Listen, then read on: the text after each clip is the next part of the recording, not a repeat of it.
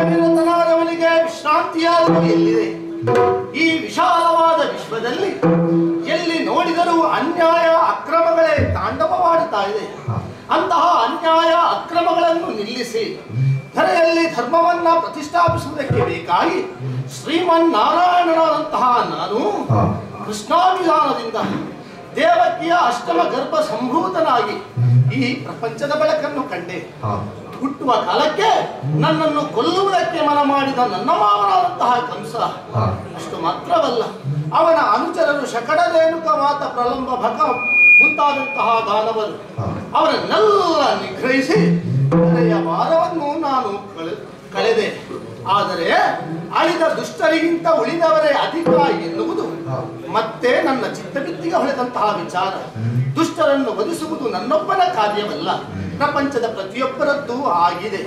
ಆ ದಿಸೆಯಿಂದಲೇ ಈ ಬಾರಿ ದುಷ್ಟ ಸಂಹಾರ ಕಾರ್ಯಕ್ಕೆ ಸೂತ್ರಧಾರನಾದಂತಹ ನಾನೇ ಪಾತ್ರಧಾರಿಯಾಗಿ ಇಳಿಯುವುದರ ಜೊತೆಗೆ ನನ್ನ ಸಂಘಟಕರು ಇತರರನ್ನು ಸೇರಿಸಿಕೊಳ್ಳಬೇಕು ಎನ್ನುವ ಹಾಗೆ ನಾನು ಮನಸ್ಸು ಮಾಡಿದ್ದೇನೆ. ಸತ್ಯ ಈ ನವರತ್ನ ಖಚಿತವಾದಂತಹ ದ್ವಾರಕೆಯಲ್ಲಿ ನನ್ನವಳು ರುಕ್ಮಿಣಿಯೊಂದಿಗೆ ಸಂತೋಷದಿಂದ ಕಾಲ ಕಳೆಯುವ ಕುರಿತು ಏನಾದರೂ ಹೇಳ್ತಾ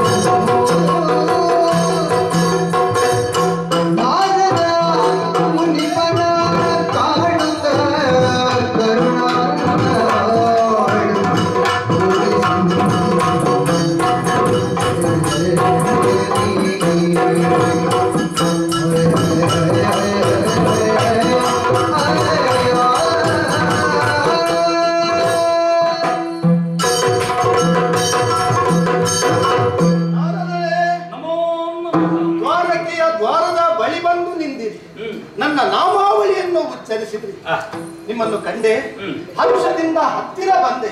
ಕರೆತಂದು ಎತ್ತರವಾದ ಪೀಠದಲ್ಲಿ ಕುಳ್ಳಿರಿಸಿದ್ದೇನೆ ಮಧುಪತ್ರ ಗಂಧ ಪುಷ್ಪ ತಾಂಬೂಲಾದಿಗಳನ್ನು ಕನಕ ಪಾತ್ರೆಯಲ್ಲಿ ತಮ್ಮ ಪಾದಮೂಲದಲ್ಲಿರಿಸಿದೆ. ನಿಮ್ಮ ಕಾಲನ್ನು ತೊಳೆದೆ. ಅದನ್ನು ತೀರ್ಥ ಅಂತ ಸ್ವೀಕರಿಸಿದೆ. ಶಿರದಲ್ಲಿ ಧರಿಸಿದೆ. ಅಷ್ಟು ಮಾತ್ರವಲ್ಲ ನಿಮ್ಮ ಈ ಮಂಗಳಕರವಾದ ಮುಖಕ್ಕೆ ಮಂಗಳಾರತಿಯನ್ನು ಬೆಳಗಿದ್ದೇನೆ.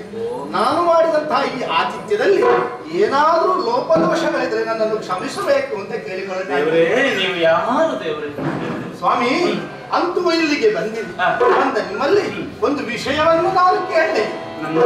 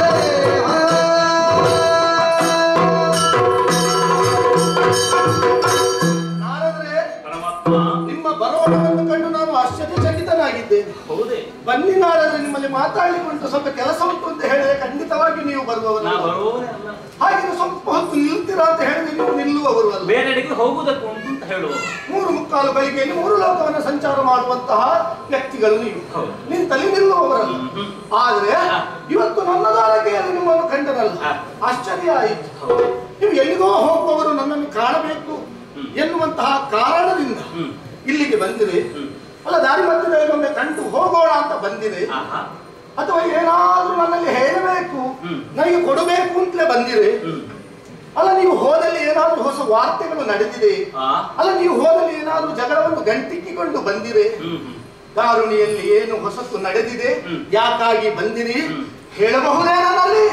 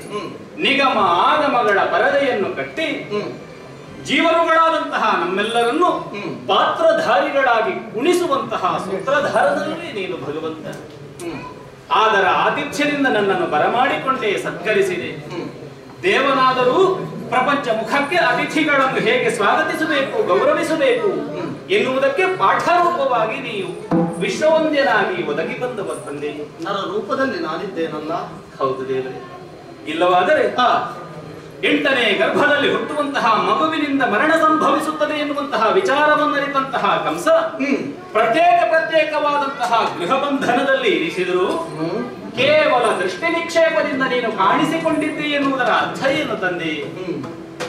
ಜಗತ್ತಿಗೆ ಆವರಿಸಿದಂತಹ. ಅಧರ್ಮವನ್ನ ನೀಗಿ. ಧರ್ಮಧೇನುವನ್ನು ನೆಲೆಗೊಳಿಸುವುದಕ್ಕೆ ಬೇಕಾಗಿ ಕಾಣಿಸಿಕೊಂಡವ ಎನ್ನುವ ಹಾಗೆ. ಹಾಗಾಗಿ ಅಲ್ವೇ? ನಿನ್ನ ಅವತರಣ ಆಗುತ್ತಾ ಇರುವ ಹಾಗೆ. ಋಷಿ ಮನೀಷಿಗಳು. ಜ್ಞಾನವೆತ್ತವರು ನಿನ್ನನ್ನು ಹಾಡಿ ಹೊಗಳುವುದಕ್ಕೆ ಪ್ರಾರಂಭಿಸಿದರು. ದೇವಕಿಯ ಗರ್ಭವೈಕುಂಠದಿಂದ ಬಯಲಾದ ಬ್ರಹ್ಮಾಂಡದ ಬೆಳಕು ನೀನು. ಮುಕ್ಕೋಟಿ ಬರ್ದಿಲರ ಬಗೆಯ ಬಯಕೆ ಅರಳಿ ಹೂವಾಗುವಲ್ಲಿ. ಮನು ಮುನಿಗಳ ಮನೋರಥ ಮೂರ್ತವಾಗುವಲ್ಲಿ. ಸಾಧು ಸಜ್ಜನರ ಸಂಕಲ್ಪ ಸಾಕಾರವಾಗುವಲ್ಲಿ. ಕಗ್ಗತ್ತಲೆಯ ಕಾಳಿನ ಕರಗೆ ನೀರಾಗುವುದಕ್ಕೆ. ಮಾಧವತ್ವದಿಂದ ಮಾನವತ್ವದೆಡೆಗೆ ಹರಿದು ಬಂದವ ನೀನು ಹ್ಮ್ ಕೃಷ್ಣ ಅಂತ ಹೇಳಿದ್ರೆ ಅದ್ಭುತ. ಹ್ಮ್. ಆಕರ್ಷಣೆ ಪವಾಡ ಚುಂಬಕ ಶಕ್ತಿ ಮಹಾತ್ಮ್ಯ ಮಹಿಮೆ ಮಂತ್ರ ತತ್ವ ತಪಸ್ಸು ರಹಸ್ಯ. ಕೃಷ್ಣನೆಂದರೆ ಪ್ರಣಯ ಪ್ರವಾಹ ಕರುಣೆಯ ಕಡಲು ಸಿಟ್ಟಿನ ಬೆಟ್ಟ ಶೃಂಗಾರ ಸಾಗರ ಮೋಹ ಉಗ್ಗರ ಅರ್ಥಶಾಸ್ತ್ರದ ಆಕಾರ. ಕೃಷ್ಣನೆಂದರೆ ಧರ್ಮದ ಬೇರು ಆನಂದದ ತೇರು ಮಹಿಮೆಯ ಮೇರು ಶರಣರ ಸೂರು. ನಿನ್ನನ್ನು ನೆನೆಯದವರು ಯಾರು ಬಂದೆ? ನಾನು ಬಂದಿರುವಂತಹ ವಿಚಾರವನ್ನು ತಿಳಿದು ಯಾಕೆ ಬಂದೆ? ಎಲ್ಲಿಗೆ ಹೋಗುವ ಅಂತ ನೀನು ಆಡುತ್ತಾ ಇದ್ರೆ ಬೇರೆ ಮಾತುಗಳೆಲ್ಲ ಸ್ವಾಮಿ. ಭಕ್ತರ ಬಾಯಿಂದಲೇ ಕೇಳಿ ತಿಳಿಯುವ ಕುತೂಹಲದಿಂದ ಪ್ರಶ್ನಿಸಿದೆ. ನಾನು ಒಂದರಲ್ಲಿ ಮಾತ್ರ ತೃಪ್ತಿ ಪಡುತ್ತೇನೆ.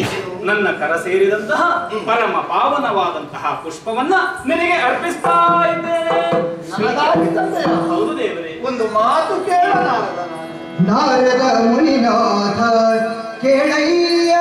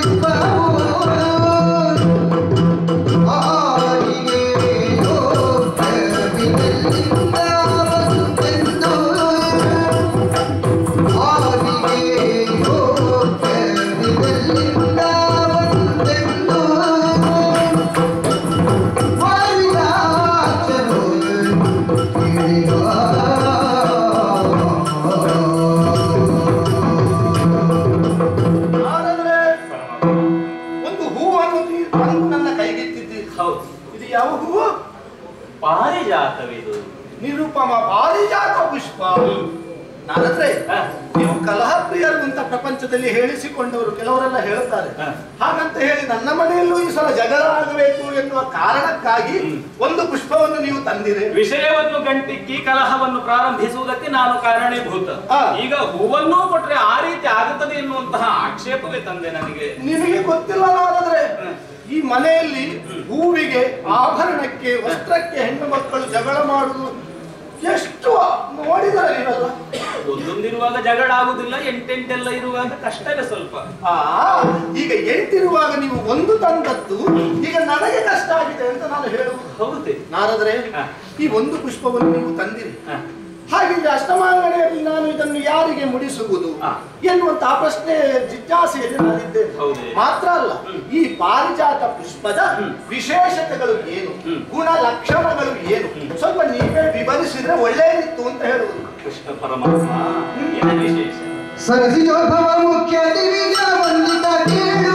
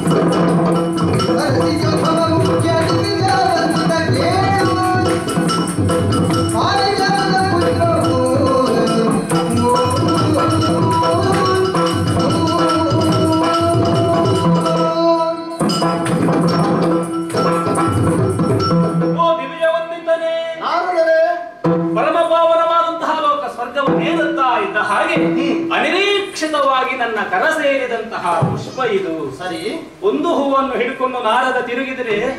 ಏನು ಆಡಿಯಾರು ಉಳಿದವರೆಲ್ಲ? ಬ್ರಹ್ಮಚಾರಿ ಬ್ರಹ್ಮಚಾರಿಯಾದಂತಹ ನಾರದ ಒಂದು ಹೂವನ್ನು ಹುಡುಕೊಂಡು ಹಿಡ್ಕೊಂಡು ಯಾರನ್ನೋ ಹುಡುಕುತ್ತಾ ಇದ್ದಾನಂತ. ಹೌದು. ಇನ್ ಇನ್ಯಾರ ಕರ ಸೇರ್ಬೇಕದು. ನಿನ್ನ ಕರ ಸೇರ್ಬೇಕು ಎನ್ನುವಂತಹ ಉದ್ದೇಶದಿಂದ. ನೇರವಾಗಿ ದ್ವಾರಕೆಗೆ ಇಳಿದೆ ನಾನು. ದೇವರ ಪೂಜೆಗೆ? ದೇವನ ಪೂಜೆಗೆಲ್ಲ? ಈ ಒಂದು ಪುಷ್ಪದಿಂದ. ದೇವನಾದಂತಹ ನೀನು ಪ್ರೀತನಾಗುವುದರ ಜೊತೆಯಲ್ಲಿ ಯಾರಿಗೆ ಕೊಡಬೇಕು. ಮತ್ತೆ ಇದರ ವಿಶೇಷ ಏನು? ವಿಶೇಷತೆಯನ್ನು ನೀನು ಅರಿತಿದ್ದರೂ ಕೂಡ ನಾರದನಾದಂತಹ ನನ್ನ ಬಾಯಿಂದ ಕೇಳಬೇಕು ಎನ್ನುವಂತಹ ಹಂಬಲವುಳ್ಳವನೇನು? ಉಳ್ಳವನೇನು ಸ್ವಾಮಿ ಹ್ಮ್. ಪರಮ ಪುಷ್ಪವಿದು. ಸಮುದ್ರ ಮಥನ ಕಾಲದಲ್ಲಿ. ಕಾಣಿಸಿಕೊಂಡಂತಹ. ಪಾರಿಜಾತ ವೃಕ್ಷ ಅದರಲ್ಲಿ ಕಾಣಿಸಿಕೊಂಡಂತಹ ಪುಷ್ಪ. ನನ್ನ ಕರ ಸೇರಿದ ಆ ಕ್ಷಣವೇ. ವಿಶೇಷತೆಯನ್ನು ಚೆನ್ನಾಗಿ ಅರಿತಿದ್ದೇನೆ ನಾನು. ನೋಡಿದೆಯ ನಕ್ಷತ್ರಾಕಾರದಲ್ಲಿ ಗೋಚರಿಸ್ತಾ ಇದೆ. ಕೆಂಪು ಮಿಶ್ರಿತ ಹವಳ ವರ್ಣದಿಂದ ಕಾಣುತ್ತಾ ಉಂಟು ಹೌದಾ ಹೌದು ಈ ಹೂವಿನ ವಿಶೇಷತೆ ಯೋಗ್ಯತೆ ಏನು ಬಲ್ಲೆಯ ಏನು ಯಾರಿಗೆ ಮದುವೆ ಆಗಲಿಲ್ಲ. ಎನ್ನುವ ಹಾಗೆ ಕೊರಗುತ್ತಾ ಇರ್ತಾರೆ. ಅವರು ಈ ಹೂವನ್ನ. ಸಂಪ್ರೀತಿಯಿಂದ ಮುಡಿದುಕೊಂಡ್ರೆ ಹಾ. ಆದಷ್ಟು ಶೀಘ್ರವಾಗಿ ಮದುವೆಯ ಯೋಗ ಕೂಡಿ ಬರ್ತದೆಯಂತೆ ಹೂವಿನಿಂದ ಹೌದು ಬಂಜತನ ನಿವಾರಣೆಗೂ ಈ ಹೂ ಮುಡಿಯುವುದರಿಂದ. ಯೋಗ್ಯವಾದಂತಹ ಫಲವನ್ನು ನೀಡುತ್ತದೆ ಮಕ್ಕಳಿಲ್ಲ ಎನ್ನುವಂತಹ ಕೊರಗು ಬಾಧಿಸುತ್ತಾ ಇರುವ ಹಾಗೆ ಹಾ. ಭಕ್ತಿಯಿಂದ ಈ ಹೂವನ್ನು ಮುಡಿದರೆ ಹಾ. ಮಕ್ಕಳಾಗುವಂತಹ ಸೌಭಾಗ್ಯ ಒದಗಿ ಬರ್ತದೆಯಂತೆ ಮುಡಿದರೆ ಹಾ ಹಾ ಹೌದು ಹಾ ಸದಿಚ್ಛೆ ಬೇಕು ಮಾತ್ರ. ಸರಿ. ದೇವರೇ ಒಂದು ಹೂವು ಉಂಟು. ಎಂಟು ಮಂದಿ ಇದ್ದಾರೆ. ಯಾರಿಗೆ ಮುಡಿಯುವುದು? ಪಟ್ಟ ಮಹಿಷಿ ಯಾರು? ರುಕ್ಮಿಣಿ. ರುಕ್ಮದಂತಹ ಅಂಗವುಳ್ಳವಳು. ಚಿನ್ನದಂತಹ ಗುಣವನ್ನು ಹೊಂದಿದವಳು. ಹೌದು. ಯೋಚಿಸುವಂತಹ ಅವಶ್ಯಕತೆ ಇಲ್ಲ. ಹಿರಿಯವಳಾದಂತಹ ರುಕ್ಮಿಣಿಯ ಮುಡಿಗೆ ಈ ಹೂವನ್ನು ಮುಡಿಸಬೇಕು ತಾವು. ಪರಮಾತ್ಮ ಕಷ್ಟಪಟ್ಟು ಇಲ್ಲಿಯವರೆಗೆ ತೆಗೆದುಕೊಂಡು ಬಂದವನ. ಈ ಹೂವನ್ನು ಮುಡಿಯುವಂತಹ ಚಂದವನ್ನು ನಾನು ಕಾಣಬೇಕು ಬೇಡವು ಈಗ ನಾನು ರುಕ್ಮಿಣಿಯ ಮುಡಿಗೆ ಹೂವನ್ನು ಮುಡಿಸುವ ಚಂದವನ್ನು ನಿಮಗೆ ಕಾಣಬೇಕು. ನನಗೆ ಮದುವೆಯಾಗುವ ಯೋಗವಂತೂ ಇಲ್ಲ. ಅಜ್ಜನಾದಂತಹ ನೀನು ಅಜ್ಜಿಗೆ ಹೂ ಮುಡಿಯುವ ಚಂದ ಕಾಣಬೇಕು ಬೇಡ ನಾನು. ವೈರಾಗಿದು ಇಂತಹ ಒಂದು ಬಯಕೆ. ಆಗಲಿ. ಸಂಬಂಧದಲ್ಲಿ ನಾನು ಅಜ್ಜ. ರುಕ್ಮಿಣಿ ಅಜ್ಜಿ. ಅಜ್ಜ ಅಜ್ಜಿಯ ತಲೆಗೆ ಹೂ ಮುಡಿಸುವ ಸಂದವನ್ನು ಮೊಮ್ಮನ ಮೊಮ್ಮಗನಾಗಿ. ನೀನು ಕಾಣುವೆಯಂತೆ. ಹೀಗೆ.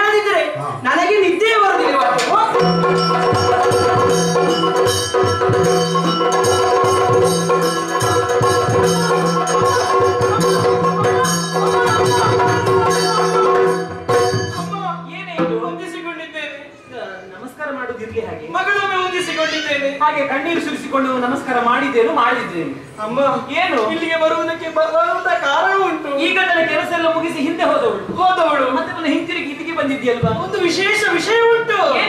ಅಮ್ಮ. ನೀರಿಗೆ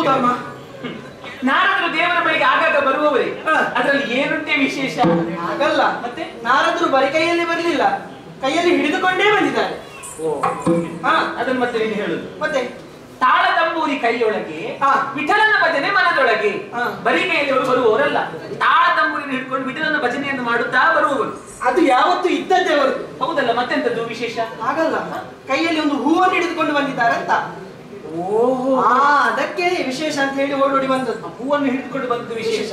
ನಿನಗೊಂದು ವಿಷಯ ಗೊತ್ತುಂಟ? ಏನು? ಮಕ್ಕಳ ಬಳಿಗೆ ಹೋಗುವಾಗ. ಹೋಗುವಾಗ. ವೃದ್ಧರ ಬಳಿಗೆ ಹೋಗುವಾಗ. ಹೋಗುವಾಗ. ರೋಗಿಯ ಬಳಿಗೆ ಹೋಗುವಾಗ. ಹೋಗುವಾಗ. ಬರಿ ಕೈಯಲ್ಲಿ ಹೋಗುವಂತಹ ಕ್ರಮ ಇಲ್ಲ. ಇಲ್ಲ. ಏನಾದ್ರೂ ಸುವಸ್ತುವನ್ನು ಹಿಡಿದುಕೊಂಡು ಹೋಗಬೇಕು. ಸತ್ಯ. ಹಾಗೆಯೇ ಆ. ದೇವರ ಬಳಿಗೆ ಬರುವಾಗ ದೇವರನ್ನು ಪೂಜಿಸುವುದಕ್ಕೆ ಬೇಕಾಗಿ ನಾರದರು ಒಂದು ಹೂವನ್ನು ಹಿಡಿದುಕೊಂಡು ಬಂದಿದ್ದಾರೆ. ಆ ಸುದ್ದಿಯನ್ನು ಹೇಳೋದಕ್ಕೆ ಇಲ್ಲಿಗೆ ಬಂದದಲ್ಲ ಆ. ಹಾಗಲ್ಲ. ಮತ್ತೆ? ಹೂ ಹೌದು. ಅದು ವಿಶೇಷವಾದಂತಹ ಸುರಪಾರಿಜಾತದ ಹೂ. ಸುರಪಾರಿಜಾತ? ಅದನ್ನು ಹೇಳುವುದಕ್ಕೆ ಓಡೋಡಿ ಬಂದದ್ದು ನಾನಂತ ಓ ನಾರದರು ಸುರ ಪಾರಿಜಾತ ಹೂವನ್ನು ಹಿಡಿದುಕೊಂಡು ದೇವರ ಪೂಜೆ ಬಂದರು. ಹೌದು. ದೇವರಿಗೆ ಕೊಟ್ಟಿರ್ಬೇಕಲ್ಲ ದೇವರಿಗೆ ಆ ಹೂವನ್ನು ಕೊಟ್ಟರು. ಆಗ ದೇವರೊಂದು ಪ್ರಶ್ನೆಯನ್ನು ಮಾಡಿದ್ರು ನಾರದರಲ್ಲಿ. ಪುಟ್ಟ ಮೇಲೆ ಪುನಃ ಪ್ರಶ್ನೆ ಉಂಟಿದೆ. ಪ್ರಶ್ನೆ ಮಾಡಿದ್ರು. ಎಲ್ಲವೂ ಸ್ವೀಕಾರ. ಪ್ರಶ್ನೆ ಮಾಡ್ಲಿಕ್ಕಿಲ್ಲ ಅಲ್ಲ ಅವರೊಂದು ಕೇಳಿದ್ರು ಪ್ರಶ್ನೆ. ನಾರದರೆ ನಾನು ಈ ಹೂವನ್ನು ಯಾರಿಗೆ ಮುಡಿಸಬೇಕೆಂಬುದಾಗಿ ನಾರದರಲ್ಲಿ ಪ್ರಶ್ನೆಯನ್ನು ಮಾಡಿದ್ರಮ್ಮ ದೇವರಿಗೆ ಅರ್ಪಿಸಿದ್ದನ್ನು ಮುಡಿಸಬೇಕಂತ ಹೇಳಿದ ನಾರದರು. ಹೌದು. ಆವಾಗ ಕೇಳಿದ್ರು. ಅಯ್ಯ. ಯಾರಿಗೆ ಮುಡಿಸಬೇಕು ಯಾರಿಗೆ ಮುಡಿಸಬೇಕು? ಅವರು ಹಾಗೆಲ್ಲ ಕೇಳುದ್ರು ಯಾರಿಗೆ? ಕೇಳಲಿಕ್ಕಿಲ್ಲ. ಅಲ್ವಾ? ನಿಮ್ಮ ಗಂಡ ಅಲ್ವಾ? ಹೌದು. ಒಂದು ಕೆಲಸ ಈಗ. ಏನು? ಈಗ ಹೂ ಇಲ್ಲಿಗೆ ಬರ್ತದೆ ಅದು. ಹೇಗೆ? ಮತ್ತೆ ಆ ದೇವರ ಬಳಿಗೆ ಬಂದಂತಹ ಹೂ ಅದು ನೇರವಾಗಿ ನನ್ನ ಬಳಿಗೆ ಬರ್ತದೆ. ನಿಮ್ಮಲ್ಲಿ ಪ್ರೀತಿ ಹೆಚ್ಚಲ್ವಾ ಅವರಿಗೆ? ಸತ್ಯವಾಮಿ ಮತ್ತೆ ಮುಡಿಯುವಂತಹ ಚಂದವನ್ನು ನೀನು ನೋಡಬೇಕು. ನೋಡ್ಬೇಕು. ಅದರಲ್ಲಿಯೂ ನೀನು ನಾರದರಿಗೆ ನಾರದರ ಬಳಿ ಯಾಕೆ ಆ ಪ್ರಶ್ನೆಯನ್ನು ಕೇಳಿದ್ದು? ಕೇಳಿದ್ದು. ನಾರದರು ಹೇಳಿದ್ರೆ ಅದು ಲೋಕಕ್ಕೆ ಗೊತ್ತಾಗುತ್ತೆ ಎನ್ನುವಂತಹ ವಿಚಾರವನ್ನು ದೇವರಿಗೂ ಗೊತ್ತುಂಟು. ಮೂರು ಲೋಕವನ್ನು ಸಂಚರಿಸುವವರು ನಾರದರು. ಹೌದಲ್ಲ? ಎಲ್ಲರಿಗೂ ಗೊತ್ತಾಗ್ತದೆ ಅಂತ ಅವರಲ್ಲಿ ಕೇಳಿದ್ದು ನೋಡು. ಎಮ್ಮೆಗೆ ಹಾಕಿದಂತಹ ಹಿಂಡಿ ಎಲ್ಲಿಗೂ ಹೋಗುವುದಿಲ್ಲ. ಇಲ್ಲಿಗೆ ಬರುದು. ಮತ್ತೆ ಹಾಲಿನ ರೂಪದಲ್ಲಿ ಬಂದೇ ಬರ್ತದೆ ಅಲ್ವಾ ಬಂದೇ ದೇವರ ಬಳಿಗೆ ಬಂದಂತಹ ಹೂ ಅದು ಅಲ್ಲಿರುವುದಿಲ್ಲ. ನೇರವಾಗಿ ಸತ್ಯಭಾಮೆಯ ಮುಡಿಯಲ್ಲಿರುತ್ತದೆ. ಆದ್ರೆ ನಾರದರು ಒಂದು ಆವಾಗಲೇ ಒಂದು ಮಾತನ್ನು ಹೇಳಿದ್ರು. ಏನು? ನಾರಿ ವೈದರ್ಭೆಗಲ್ಲದ ಅನ್ಯರಿಗೆ ಈ ಹೂವನ್ನು ಮುಡಿಯುವಂತಹ ಯೋಗ್ಯತೆ ಇಲ್ಲ. ರುಕ್ಮಿಣಿಗೆ ಬಿಡಿಸ್ಬೇಕಂತೆ ನಾರದ್ರು ಹೇಳಿದ್ರು ರುಕ್ಮಿಣಿಗೆ ಮುಡಿಸ್ಬೇಕಂತೆ. ಸುಮ್ಮನೆ ಒಮ್ಮೆ. ಏನು? ನಾರಿ ವೈದರ್ಭಿಗೆ ನಾರದ್ರು ಹೇಳಿದ್ದನ್ನು ನಾನು ಹೇಳಿದ್ದು ಅಂತ ನಾರದರು ಹಾಗೆ ಹೇಳಿ. ಹೇಳಿ. ಅದು ಯಾವಾಗಲೂ ಹೇಳುವವರು ಅವರು ಅವರಿಗೆ ಬೇರೆ ಕೆಲಸ ಉಂಟು? ನನ್ನ ದೇವರೆಲ್ಲ ಹಾಗೆ ಹೇಳುದಿಲ್ಲ ಮತ್ತೆ ಯಾವತ್ತು ನೋಡಿದ್ರು ಸತ್ಯಭಾಮೆ ಸತ್ಯಭಾಮೆ ಅಂತ ಹೇಳ್ತಾರೆ. ಹೌದಲ್ವಾ? ಮತ್ತೆ? ನನ್ನ ದೇವರು ಏನು ಹೇಳಿದ್ರು? ದೇವರು ಏನು ಹೇಳುದ. ನಾರದರು ಹೇಳಿದ್ದೇ ಹೇಳಿದ್ದಮ್ಮ. ರುಕ್ಮಿಣಿಯನ್ನು ಬಳಿಗೆ ಕರೆದ್ರು. ಜಡೆ ಹೆಣಿದ್ರು. ಹಾ. ಮುತ್ತು ಕೊಟ್ಟು ಹೂವನ್ನು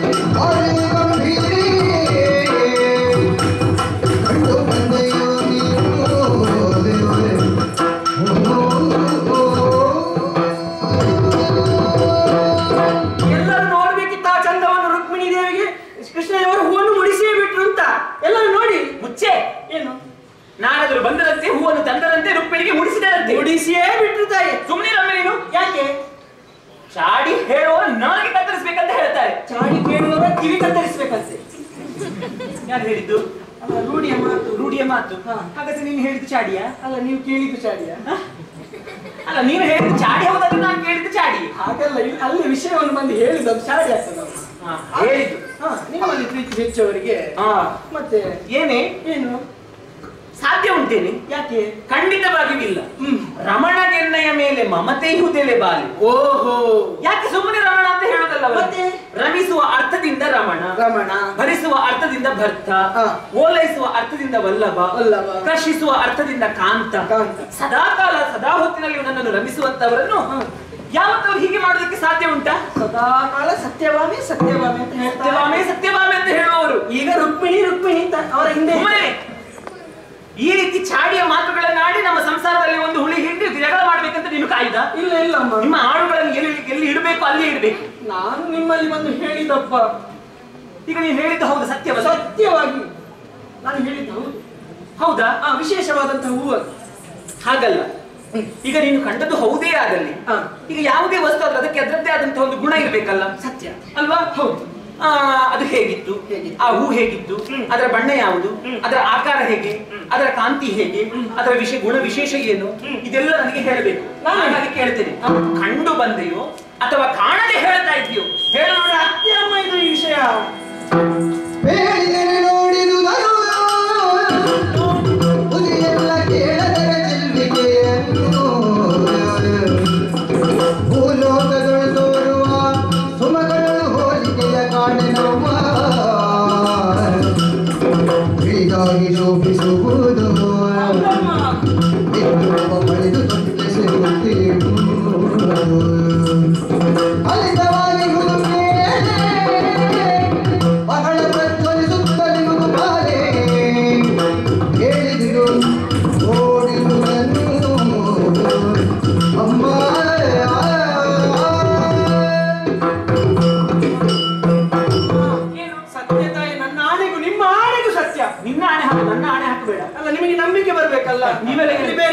ನೀವಿರುವುದು ಆ, ನಂಬಿಕೆ ಬರ್ಲಿಕ್ಕೆ ನಾನು ಆಣೆ ಹಾಕುದು ನೀನು? ನಿಮಗೆ ನಂಬಿಕೆ ಬರ್ಲಿಕ್ಕೆ. ನಂಬಿಕೆ ಬರ್ಬೇಕಾದ್ರೆ ಆ ವಿಶೇಷತೆಗಳನ್ನು ಹೇಳು ನನಗೆ. ಆಗ ನಂಬಿಕೆ ಬರ್ತದೆ ಆಣೆ ಹಾಕಿದ್ರೆ ನನಗೆ ನಂಬಿಕೆ ಬರುವುದಿಲ್ಲ ವಿಶೇಷವಾದಂತಹ ಹೂವು ಬಿಳಿ ಸಂಪೂರ್ಣ ಬಿಳಿಯಾದಂತಹ ಬಣ್ಣ ಆ ಹೂವಿನ ಬಣ್ಣ.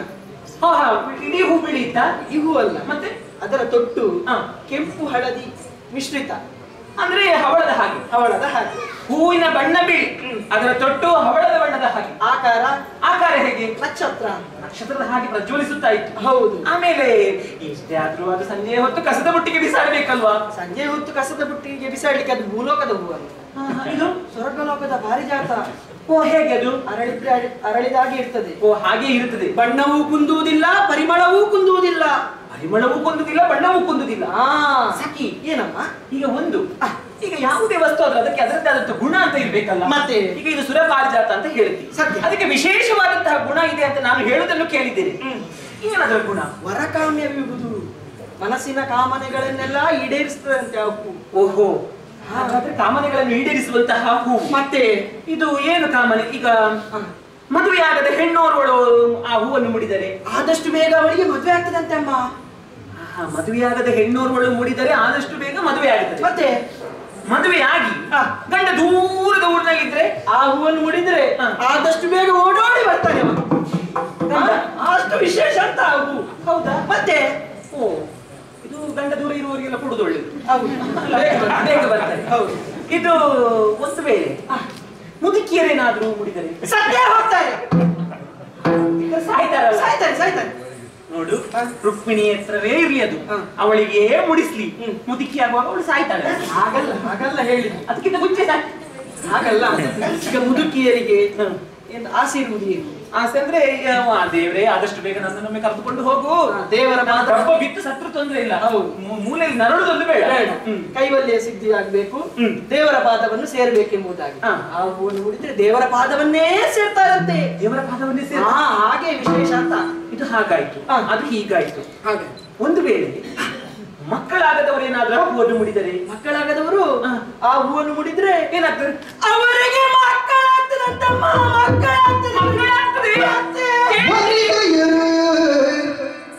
ಕೇಳಿದಿರೇ. ಮುನಿಯ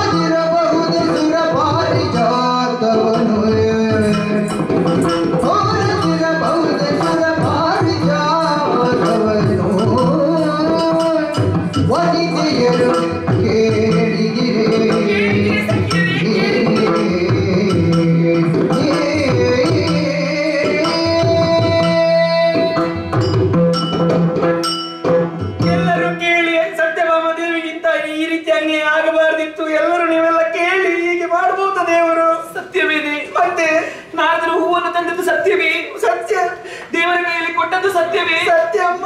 ಅಯ್ಯೋ ರುಕ್ಮಿಣಿಗೆ ಉಳಿಸಿದ್ದು ಸತ್ಯವೇ? ಮುಡಿಸಿ ಬಿಟ್ಟು ಮತ್ತೆ ಮನಸ್ಸಿಗೆ ಎಷ್ಟು ನೋವಾಗುತ್ತದೆ ಗೊತ್ತಾ? ಮತ್ತೆ ನೋವಾಗದಿತ್ತು ಇದ್ದಿತ್ತ ಈಗ ಹೆಂಡತಿಯಾದವಳಿಗೆ ನಾನು ಎಣಿಸಿದ್ದು ಏನು? ಗಂಡ ಈ ರೀತಿ ಮಾಡೋದು ನೋವು ಆಗ್ಲೇಬೇಕೀಗ ನನ್ನ ಗಂಡನಿಗೆ ನನ್ನ ಮೇಲೆ ಮಾತ್ರ ಪ್ರೀತಿ ಎನ್ನುವ ಹಾಗೆ ಭಾವಿಸಿದವಳು. ಮತ್ತೆ? ಈಗ ನೋಡಿದ್ರೆ ಅದು ಸುಳ್ಳಾಯ್ತಲ್ಲ. ಹೌದು. ಅವ್ರಿಗೆ ಅಷ್ಟು ಗೊತ್ತಾಗುದಿಲ್ವಾ? ಗೊತ್ತಾಗುದಿಲ್ವಾ? ಯಾವಾಗ ನೋಡಿದ್ರು ಸತ್ಯಭಾಮ ಸತ್ಯಭಾಮ ಹೌದು. ನಿನಗಿಂತ ಬಳಿ ಯಾರಿದ್ದಾರೆ? ಯಾರಿದ್ದಾರೆ? ರೂಪದ ಬಳಿ ಯಾರಿದ್ದಾರೆ? ಸುಮ್ಮನೆ ನಾಟಕ ಮಾಡುದವರು. ಅದ್ರಲ್ಲಿ ಏನು ಕಡಿಮೆ ಆಗಿದೆ? ಏನು ಕಡಿಮೆ ಉಂಟು? ರೂಪದಲ್ಲಿ ಯಾರು? ನೀವು. ಐಶ್ವರ್ಯದಲ್ಲಿ ಯಾರು? ನೀವು. ಗುಣದಲ್ಲಿ ಯಾರು? ನೀವು. ವಿದ್ಯೆಯಲ್ಲಿ ಯಾರು? ನೀವು. ಅಹಂಕಾರದಲ್ಲಿ ನೀವು. ಮತ್ತೆ? ನೀನು ನನ್ನನ್ನು ಮೇಲೆ ಮಾಡಿ ಮತ್ತೆ ಕೆಳಗೆ ಹಾಗಲ್ಲ? ಏನು ಇಲ್ಲದವರು ಅಹಂಕಾರ ಮಾಡ್ತಾರಂತೆ ನೀವು ಇಷ್ಟು ಇದ್ದು ಅಹಂಕಾರ ಮಾಡಿ. ಹೌದಲ್ಲ? ಇಲ್ಲಿ ದ್ವಾರಕೆಯಲ್ಲಿ ನೀವು ಹೊರಗಿಂತ ಮುಂಚೆ ಏನಿತ್ತು? ಏನಿರ್ಲಿಲ್ಲ. ನಾನು ಹೇಳಬೇಕಾದ್ರೆ ನೀನು ಹೇಳ್ತಾ ಇದ್ದೀನಿ ಗೊತ್ತುಂಟಿಲ್ಲ ಗೊತ್ತುಂಟು ಮತ್ತೆ? ಅಲ್ಲ. ದ್ವಾರಕೆಯಲ್ಲಿ ನಾನು ಬರ್ಲಿಕ್ಕಿಂತ ಮುಂಚೆ ಏನಿತ್ತಿಲ್ಲಿ ಏನಿತ್ತು? ಏನೂ ಇಲ್ಲ. ಮತ್ತೆ? ಎಲ್ಲವನ್ನು ಹಿಡಿದುಕೊಂಡು ಬಂದವಳು ನಾನು. ಅವಳು ರುಕ್ಮಿಣಿ? ದಿನವೊಂದಕ್ಕೆ ಎಂಟು ಮಣ ಬಂಗಾರವನ್ನು ಕೊಡುವಂತಹ ಮಣಿಯನ್ನು ಹಿಡ್ಕೊಂಡು ಬಂದು ಇಲ್ಲಿ ಅವನೆಲ್ಲ ಶ್ರೀಮಂತಗೊಳಿಸಿದವಳು ನಾನು. ಮತ್ತೆ ಅವಳು ತವರು ಮನೆಯಿಂದ ಓಡಿಕೊಂಡು ಬಂದವಳು? ಏನು ತರಲಿಲ್ಲ. ಪ್ರತಿಯೊಂದು ಬಾಗಿಲಿಗೂ ಕೂಡ ಚಿನ್ನದ ಬಾಗಿಲನ್ನು ಮಾಡಿಸಿ ಹಾಕಿದ್ದೇನೆ. ಮತ್ತೆ? ಇಷ್ಟು ವಸ್ತುಗಳೆಲ್ಲ ಅವಳಿಗೆ ಬೇಕು? ಬರುವಾಗ ತವರು ಮನೆಯಿಂದ ಏನು ತರಲಿಲ್ಲ ಅವಳು? ಹಾಗಾದ್ರೆ ಅಹಂಕಾರ ಪಡುವುದರಲ್ಲಿ ಮತ್ತೆ ನಿಮಗೆ ಅಹಂಕಾರ ಬೇಕು. ಅಲ್ವಾ? ಮತ್ತೆ ಸಮುದ್ರದ ನೀರು ಉಪ್ಪಾಗಿ ಉಂಟು. ಅದು ಅದು ಅದು ಗುಣ ಗುಣ ಅಲ್ವಾ? ಮತ್ತೆ? ಚಂದ್ರನು ಕೂಡ ಕೆಲವೊಮ್ಮೆ ಕಪ್ಪಾಗಿ ಗೋಚರಿಸ ಅಮಾವಾಸ್ಯ ದಿವಸ. ಹೌದು. ಗುಣ ಆದ್ರೆ ಗುಣ ಅದು. ಹಾಗೆ ನಮಗೆ ಸ್ವಲ್ಪ ಅಹಂಕಾರ ಇದ್ರೆ ತಪ್ಪೇ ಹೌದು. ಅಲ್ವಾ? ನಿಮ್ಮಲ್ಲಿ ಹೆಚ್ಚಿಗೆ ಉಂಟು? ನನ್ನ ನನ್ನಲ್ಲಿ ಉಂಟು ನಿನ್ನಲ್ಲಿ. ನನ್ನ ನಿಮ್ಮ ಸಂಖ್ಯೆ ಅಲ್ಲ. ಇನ್ನು ಅಳಿಬೇಕಷ್ಟೇ ಎಷ್ಟು ಉಂಟು ಸ್ವಲ್ಪ ಆದ್ರೂ ನನ್ನಲ್ಲಿ ಇರ್ಬೇಕಲ್ವಾ? ಹೌದು ಹೌದು. ಸಖಿ ಏನಮ್ಮ? ಇಷ್ಟೆಲ್ಲ ಆಯ್ತು ನೋಡು. ಈಗ ಅವರಿಗೆ ನಾರದರಿಗೆ ಯಾಕೆ ಬೇಕಿತ್ತು? ಯಾಕೆ ಬೇಕಿತ್ತು? ಅವರಿಗೆ ಸಂಸಾರ ಉಂಟಾ? ಉಂಟಾ? ಮನೆ ಉಂಟಾ? ಉಂಟಾ? ಮಠ ಉಂಟಾ? ಉಂಟಾ? ಬ್ರಹ್ಮಚಾರಿಗೆ ಸಂಸಾರದಲ್ಲಿ ಹುಳಿ ಇಟ್ಟುವಂತಹ ಕೆಲಸ ಯಾಕೆ ಬೇಕು? ಕಲಹ ಪ್ರಿಯ ಎಂಬುದಾಗಿ ಹೆಸರೇ ಉಂಟಲ್ಲಮ್ಮ ಅವನಿಗೆ. ಹೌದಲ್ವಾ? ಮತ್ತೆ? ಹಾಗಾದ್ರೆ ಜಗಳ ಗಂಟಿಕ್ಕುವವ ಇಲ್ಲಿಯವರೆಗೆ ಬಂದು ಜಗಳ ಆಡಿಸಬೇಕೆನ್ನುವಂತ ಉದ್ದೇಶದಿಂದ ಹಿಡಿದುಕೊಂಡು ಬಂದ. ನಾರದರದೇ ತಪ್ಪಿತು ನಾರದರದೇ ನಾರದರೆ ತಪ್ಪು. ಹೌದು. ಇಲ್ಲವಾದಲ್ಲಿ. ಎಂಟು ಮಂದಿ ಇದ್ದೇವೆ ಎಂಟು ಮಂದಿ ಅವ ಒಂದು ಹೂವನ್ನು ಹಿಡ್ಕೊಂಡು ಬಂದು ಅಂತ ಹೇಳಿಬಿಟ್ಟಲ್ಲ ಅವ್ರಿಗೆ ಒಂದು ಒಂಬತ್ತು ತರಿಸಿದ್ರೆ ನಾನು ಮುಡಿತಿದ್ದೆ ನಿಮ್ಗೆ ಆಸೆ ಜೋರುಂಟು ಎಂಟರಿಂದ ಬಾಯಲ್ಲಿ ಬರುದಿಲ್ಲ. ಒಂಬತ್ತು ಹಿಡ್ಕೊಂಡು ಬರ್ಬೇಕಂತ ಹೇಳಿ. ನಿಮ್ಮ ನಾನು ನನಗೆ ಒಂದು ನೀವು ಕೊಡ್ತೀರಿ. ನಂಟು ನಿನಗೆ ಏನು ಗೊತ್ತುಂಟು ಸತ್ಯ ಅವಳು ಯಾವ ಅವಳು ಭದ್ರ ಇದ್ಲು. ನೀಲೇ ಇದ್ಲು. ಜಾಮವತಿ ಇದ್ಲು. ಮತ್ತೆ? ಮತ್ತೆ ಬೇರೆ ಯಾರಾದ್ರೂ ಅವ್ರಿಗೆ ಕೊಡ್ಬೋದು. ನಗ್ನಜಿ- ನಗ್ನಜಿತೆ ಇದ್ಲು. ಹೌದು. ಅವ್ರಿಗೆ ಅದು ಕೊಡ್ಬೋದಿತ್ತು ಇವಳಿಗೆ ಯಾಕೆ ಕೊಡ್ಬೇಕು? ಯಾಕೆ ಕೊಡ್ಬೇಕು ಯಾಕೆ? ಬಿಡ. ನನ್ನ ಬಳಿ ಬರುವುದು.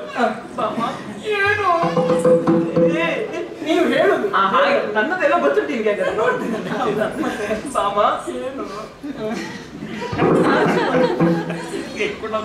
ನಾಡದ್ರೊಂದು ಹೂವನ್ನು ತಂದಿದ್ದಾರೆ.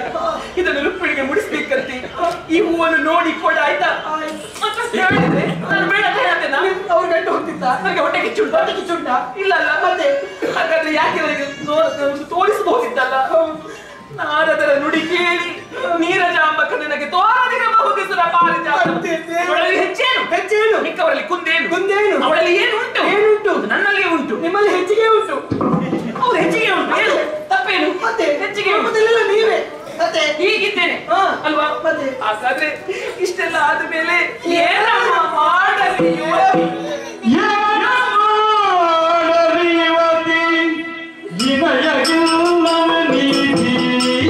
Yeah.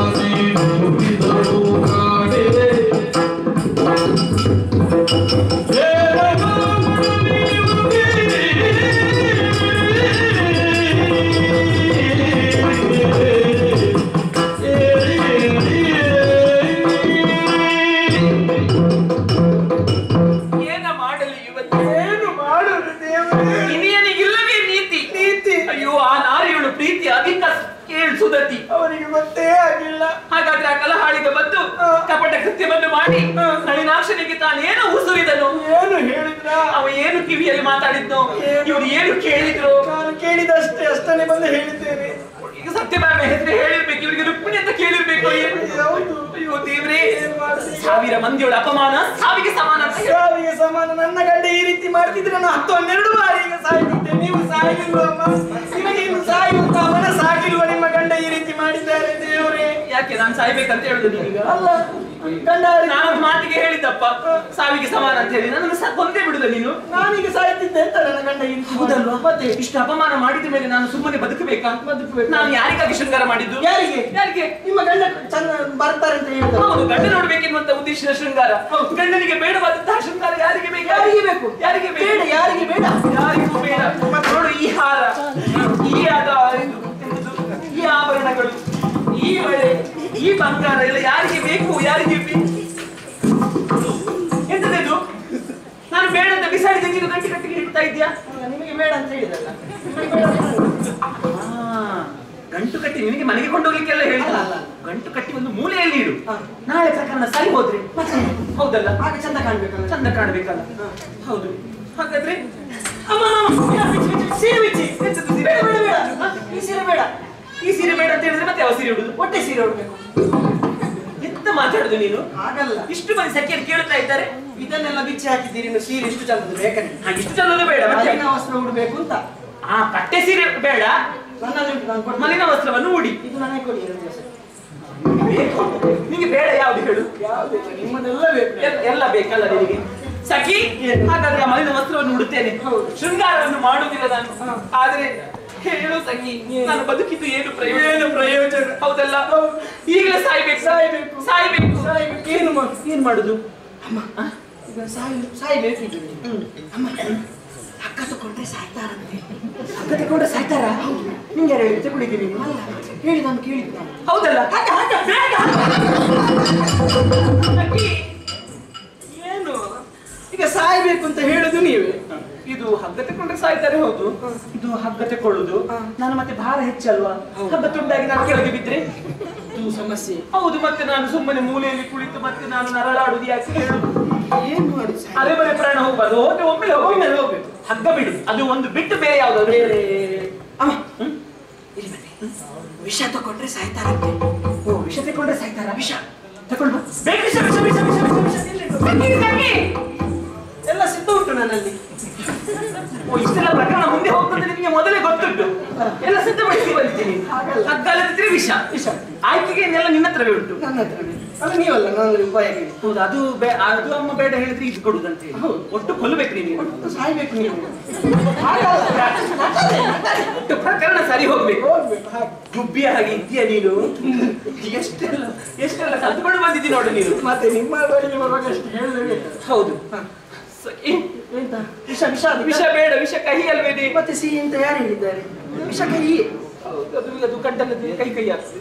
ಅದು ಬೇಡ. ಅದು ಬೇಡ. ವಿಷ ಬಾವಿಗೆ ಹಾರಿದ್ರೆ ಸಾಯ್ತಾರಂತೆ ಬಾವಿಗೆ ಹಾರಿದ್ರೆ ಸಾಯ್ತಾರ? ಅಲ್ಲಿ- ನಿನ್ನಲ್ಲಿ ಎಷ್ಟೆಲ್ಲ ಬಗ್ಗೆ ಉಂಟು ಅದ್ರ ಒಮ್ಮೆ ಹೇಳು. ಯಾವ್ದು ಯಾವ್ದು ಸುಲಭ ಆಗ್ತದೆ ಅದನ್ನ ನಾನು ಮಾಡ್ತೇನೆ. ಬಾವಿಗೆ ಹಾರಿದ್ರೆ ಸಾಯ್ತಾರೆ ಸಾಯ್. ಮತ್ತೆ ಬಾವಿ ಎಷ್ಟು ಆಳ ಉಂಟದು? ಉಂಟು. ನಾನು ಬೀಳುದು ಮತ್ತೆ ನಾನು ಉಸಿರು ಕಟ್ಟುದು ನನಗೆ ನೀರನ್ನು ಕಟ್ಟರೆ ಹೆದರಿಕೆ ಆಗ್ತದೆ. ನಿಮಗೆ ಯಾವುದಾಗದಿದ್ರೆ ನಾನೇ? ಸಾಯ್ತು ಬೇರೆ ಯಾವ್ದಾದ್ರು ಉಪಾಯ? ಅಮ್ಮ ಇದು ಕೊನೆಯ ಉಪಾಯ? ಇದರಲ್ಲಿ ಸಾಯಲೇಬೇಕು. ಒಂದು ಬಾವಿಯ ಬದಿಯಲ್ಲಿ ಕೆತ್ತಲೆ ಹಿಡಿದ ಮರ ಇರಬೇಕು. ಬಾವಿಯ ಬದಿಯಲ್ಲಿಯೇ ಗೆತ್ತಲು ಹಿಡಿದ ಮರ ಇರ್ಬೇಕು. ನೋಡ್ಬೇಕು ಮೊದಲೇ. ಮೊದಲು ನೋಡ್ಬೇಕು. ಅದಕ್ಕೆ ಇಲ್ಲದ್ರೆ ಹಾಗೆ ಗೆತ್ತಲು ಹಿಡಿಸ್ಬೇಕು. ನೀನ್ ಇದೆಯಲ್ವಾ ಸ್ವಲ್ಪ ವಿಷ ಕುಡಿಬೇಕು. ಸ್ವಲ್ಪ ವಿಷ ಕುಡಿದುಕೊಂಡೇ ಹೋಗ್ಬೇಕಲ್ಲಿ ಆ ಮರಕ್ಕೆ ನೇಣು ಹಾಕಬೇಕು. ಅಷ್ಟೊತ್ತಿಗೆ ವಿಷ ಕುಡಿದು ನಾನು ಸಾಕ್ತಿರ್ತೀನಿ ಒಂದು ನೇಣು ಹಾಕೊಂಡು ಸಾಯ್ತೀನಿ. ಇಲ್ಲದ್ರೆ ಬಾವಿಗೆ ಬಿದ್ದು ಸಾಯ್ತೀನಿ ಇಲ್ಲದ್ರೆ ವಿಷ ಕುಡಿದ್ರಲ್ಲಿ ಸಾಯ್ತೀನಿ. ಬಾವಿ. ಉಪಾಯ ನಿನ್ನದು. ಮತ್ತೆ? ಇನ್ನೊಂದೆಲ್ಲ ಯಾರ್ದಾದ್ರೂ ಮನೆ ಹಾಳು ಮಾಡುವಂತ ಉಪಾಯ ಇದೆಲ್ಲ ಆಗ್ಲಿಕ್ಕಿಲ್ಲ. ಅದು ಹಾಗಲ್ಲ ಅದು ಆತ್ಮಹತ್ಯೆ ಅಲ್ವಾ? ಹೌದು. ಆತ್ಮಹತ್ಯೆ ಮಹಾಪಾಪ. ಮಹಾಪಾಪ. ನಮ್ಮ ಪ್ರಾಣವನ್ನು ನಾವೇ ತೆಗಿಬಾರದು. ಮತ್ತೆ ಪ್ರಾಣ ತಾನಾಗಿ ಹೋಗ್ಬೇಕು. ಪ್ರಾಣ ತಾನಾಗಿ ಹೋಗುದು ಹೇಗಪ್ಪ? ಪ್ರಾಣ ತಾನಾಗಿ ಹೇಗೆ ಹೋಗ್ತದೆ? ಹೇಗೆ ಹೋಗ್ತದೆ? ಅನ್ನ ಬಿಡಬೇಕು ಅನ್ನ ನೀರು ಬಿಡಬೇಕು ಒಂದು ಹೊತ್ತು ಊಟ ಮಾಡಬಾರದು ಏನು ತೆಕ್ಕೊಳ್ಬಾರದು? ಆಮೇಲೆ ಸ್ವಲ್ಪ ದಿವಸ ಆದ್ಮೇಲೆ ಶ್ವಾಸ ಮಾತ್ರ ಇರ್ತದೆ ಯಾರು? ನಾನು ನೀವು ನಾನೇ. ನಿಮಗೆ ಹೊತ್ತೊತ್ತಿಗೆ ಹಣ್ಣಿನ ರಸ ನಾನು ಇಷ್ಟು ತಂದು ಕೊಡ್ತೇನೆ.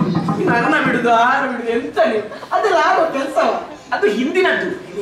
ಮುಂದಿನದ್ದು ನಾನು ಹೇಳುದು ಈಗ. ಹೌದು. ಈಗ ಬೇಡ ತಿಂದಿದ್ದೇನೆ ಅಂತ ಹೇಳಿ ಮುಂದೆ ಈಗ ಬಿಡ್ಲಿಕ್ಕೆ ಆಗುದಿಲ್ಲ. ಹೌದು. ಒಂದು ಕೆಲಸ ಮಾಡುವ. ನನ್ನ ನೀರು ಆಹಾರವನ್ನೆಲ್ಲ ತ್ಯಜಿಸುದು. ಆಮೇಲೆ ನನಗೆ ತಂದು ಕೊಡಬೇಡ ನೀನು. ನಾನು ಕುಡಿತೇನೆ. ನೀನು ಕುಡಿಬೇಕಂತ ನನಗೆ ಆಸೆ ಆಗ್ತದೆ ಕುಡಿಬೇಕಂತ. ಆಯ್ತು. ಆಮೇಲೆ ಇದು ತಿನ್ನಿ ಹಣ್ಣು ತಿನ್ನಿ ಅಂತ ಹೇಳಿ ನನಗೆ ತೋರಿಸಿದ್ರೆ ತೋರಿಸ್ಬೇಕು. ನಾನೇ ತಿಂತೇನೆ. ಆದ್ರೆ ಒಂದು ವಿಷಯ ನಾನು ಹೀಗೆಲ್ಲ ಇದ್ದೇನೆ ಈ ವಸ್ತ್ರವನ್ನು ಹುಟ್ಟಿದ್ದೇನೆ ನಾನು ಅನ್ನ ನೀರು ಬಿಟ್ಟಿದ್ದೇನೆ ಉಪವಾಸದಲ್ಲಿ ಇದ್ದೇನೆ ಅಂತ ಹೇಳಿ. ನನಗೆ ಮಾತ್ರ ಮತ್ತು ನಿನಗೆ ಮಾತ್ರ ಗೊತ್ತುಂಟು. ನನ್ನ ಗಂಡನಿಗೆ ಗೊತ್ತಾಗ್ಬೇಕಲ್ಲ? ಅಲ್ಲಿಂದ ವಿಷಯ ಇಲ್ಲಿಗೆ ಮುಟ್ಟಿಸ್ಲಿಲ್ವಾ? ಅಲ್ಲಿಂದ ಇಲ್ಲಿಗೆ ತಲುಪಿಸಿದ್ದು ನೀನು. ಇಲ್ಲಿಂದ ಅಲ್ಲಿಗೆ ಹೋಗ್ಲಿಕ್ಕೆ ನನಗೆ ಗೊತ್ತಿಲ್ಲ. ಹೌದಲ್ಲ?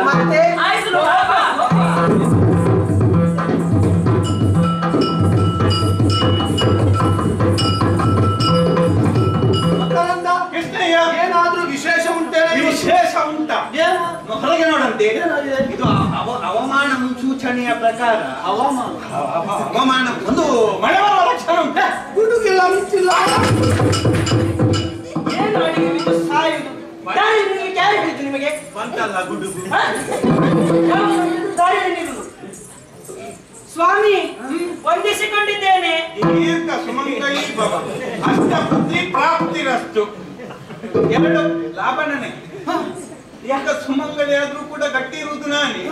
ಎಂಟು ಮಕ್ಕಳಾದ್ರೂ ಕೂಡ ತಂದೆ ಆಗುದು ನಾನೇ? ಗಂಡನಾದ ಹೆಂಡತಿ ಹೀಗೊಂದು ಆಶೀರ್ವಾದ ಮಾಡುವ ಕ್ರಮ ಉಂಟಾ? ಅವಳಿಗೆ ಹೇಳಿದಲ್ವಾ? ಸ್ವಾಮಿ ವಂದಿಸಿಕೊಂಡಿದ್ದೇನೆ. ನಾನು ನಿಮಗೆ ವಂದನೆ ಮಾಡಿದ್ದ.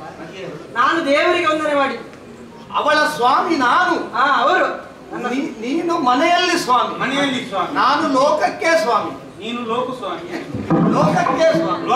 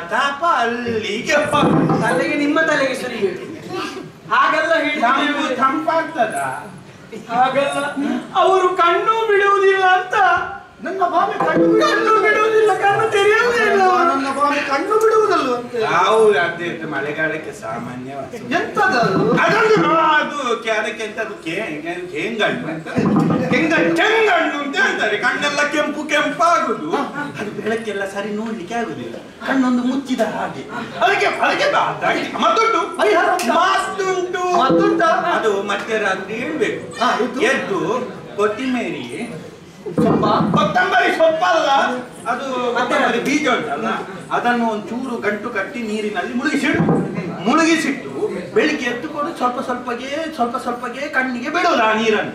ಎಲ್ಲ ಕೆಂಗಣ್ಣು ಮಾಯ. ಹಾಗಲ್ಲ ಅದು ನಿಮಗೆ ಬಿಡಬೇಕು ಅಲ್ಲ ಅಲ್ಲ ಅವರು ಅನ್ನಹಾರ ಸೇವಿಸುವುದಿಲ್ಲ ಊಟವೂ ಮಾಡುವುದಿಲ್ಲ ಏನು ತಿನ್ನುವುದಿಲ್ಲ ದೇವರೇ. ಉಣ್ಣುವುದಿಲ್ಲವೇ? ಇಲ್ಲ.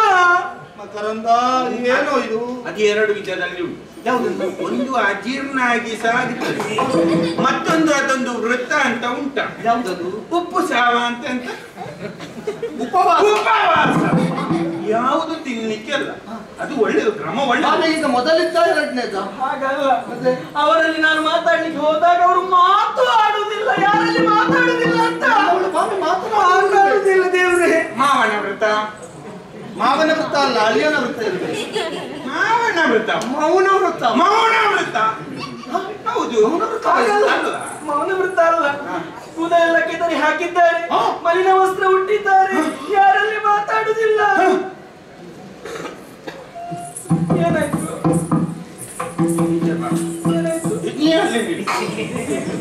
ಇದು ಸ್ವಲ್ಪ ಗಂಭೀರವಾದಂತಹ ವಿಷಯ. ಇದೊಂದು ಭಯಂಕರ ರೋಗವ. ಹೌದೌದು. ಬಂದು ಬರ್ಲಿಕ್ಕೆ ಸುಮಾರು ಹಿಂದೆ ಬಂದಿದೆ. ಆದ್ರೆ ಪುನಃ ಅಲೆ ಅಲೆ ಆಗಿ ಬರ್ತಾ ಉಂಟು. ಅದೊಂದು ಸಾಂಕ್ರಾಮಿಕ ಸಾಂಕ್ರಾಮಿಕ. ಹೌದು. ಸಾಂಕ್ರಾಮಿಕ? ಹೌದು. ಸ್ವಲ್ಪ ಅಂತರ ಇಟ್ಟುಕೊಂಡು ಯಾವಾಗಲೂ ಮಾತಾಡ್ಬೇಕು?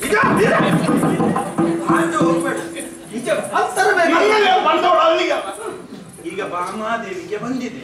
ಅದು ನೋಡು ಅಲ್ಲಿ ಹತ್ತಿರ ಹೋದ ಕ್ಷಣ ಇವಳಿಗೆ ಬರ್ತದೆ ಅವಳಿಗೆ ಬಂದ್ರೆ? ಅವಳಿಗೆ ಬಂದ ಕೂಡಲೇ ನನಗೆ ನಿನಗೆ ಬಂದ್ರೆ? ನನಗೆ ಬಂದ ಕೂಡಲೇ ನಿನಗೆ ನನಗೆ ಬಂದ್ರೆ? ನಿನಗೆ ಬಂದ್ರೆ ಮತ್ತೆ ಊರಿಗೆಲ್ಲ ಹಾಗೆ. ಅಲ್ಲಲ್ಲಿ ಬೀಳುದು ಉಸಿರು ಕಟ್ಟುದು ಮಾತಾಡ್ಲಿಕ್ಕೆ ಕೆಮ್ಮುದು. ಕೆಮ್ಮುದು. ತಿನ್ನುವುದಕ್ಕೆ ಈಚ ಬಾ ಮೊ- ಮೊದಲು. ಹಾಗಲ್ಲ. ಮತ್ತೆ? ಅವರು ಅದಕ್ಕೆ ಎರಡುಂಟು ಒಂದು ಮಟನ್ ತಗೊಳ್ಬೇಕು ಒಂದು ನಲವತ್ತೆಂಟು ದಿವಸದ ನಂತರ ಗುಳಿಗೆ ಗುಳಿಗೆ. ಪರಿಹಾರ ಹಾಗಲ್ಲ ಹೇಗೆ? ನೀವು ಅಲ್ಲಿಗೆ ಬರ್ಬೇಕಂತ ಇಲ್ಲದ್ರೆ ಅವರು ಸಾಯುವ ಸ್ಥಿತಿಯಲ್ಲಿ ನೋಡ್ಲಿಕ್ಕೆ ಒಮ್ಮೆ ಬನ್ನಿ ದೇವ್ರೆ. ಅದಲ್ಲ ಬೇರೆ ಬೇರೆ ನಿಮ್ಮಲ್ಲಿ ಹೇಳ್ತಾರೆ. ತಮಿಳದ ನುಡಿಯ ಕೇದು ಹರಿಯು ಮನದಲ್ಲಿ.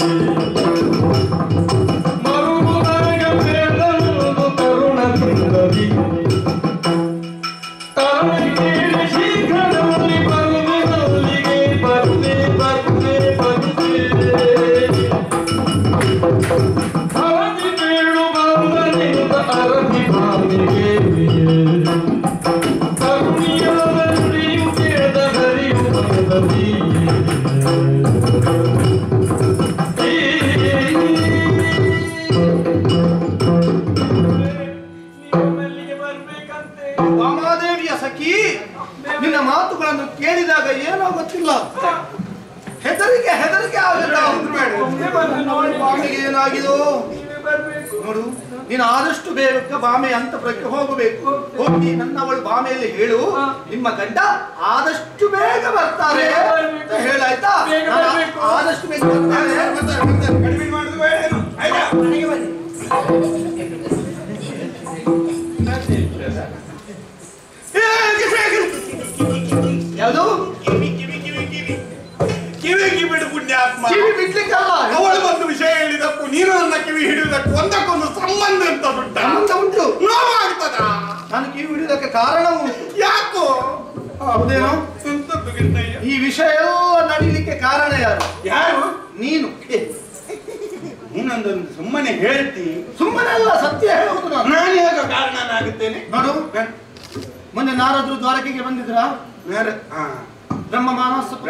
ಮಾನಸಿಕ ಪುತ್ರ ಮಾನಸಿಕ ನಿಧಿಗೆ.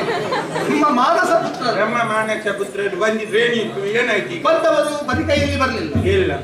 ಏನು ತಂದಿದ್ರು?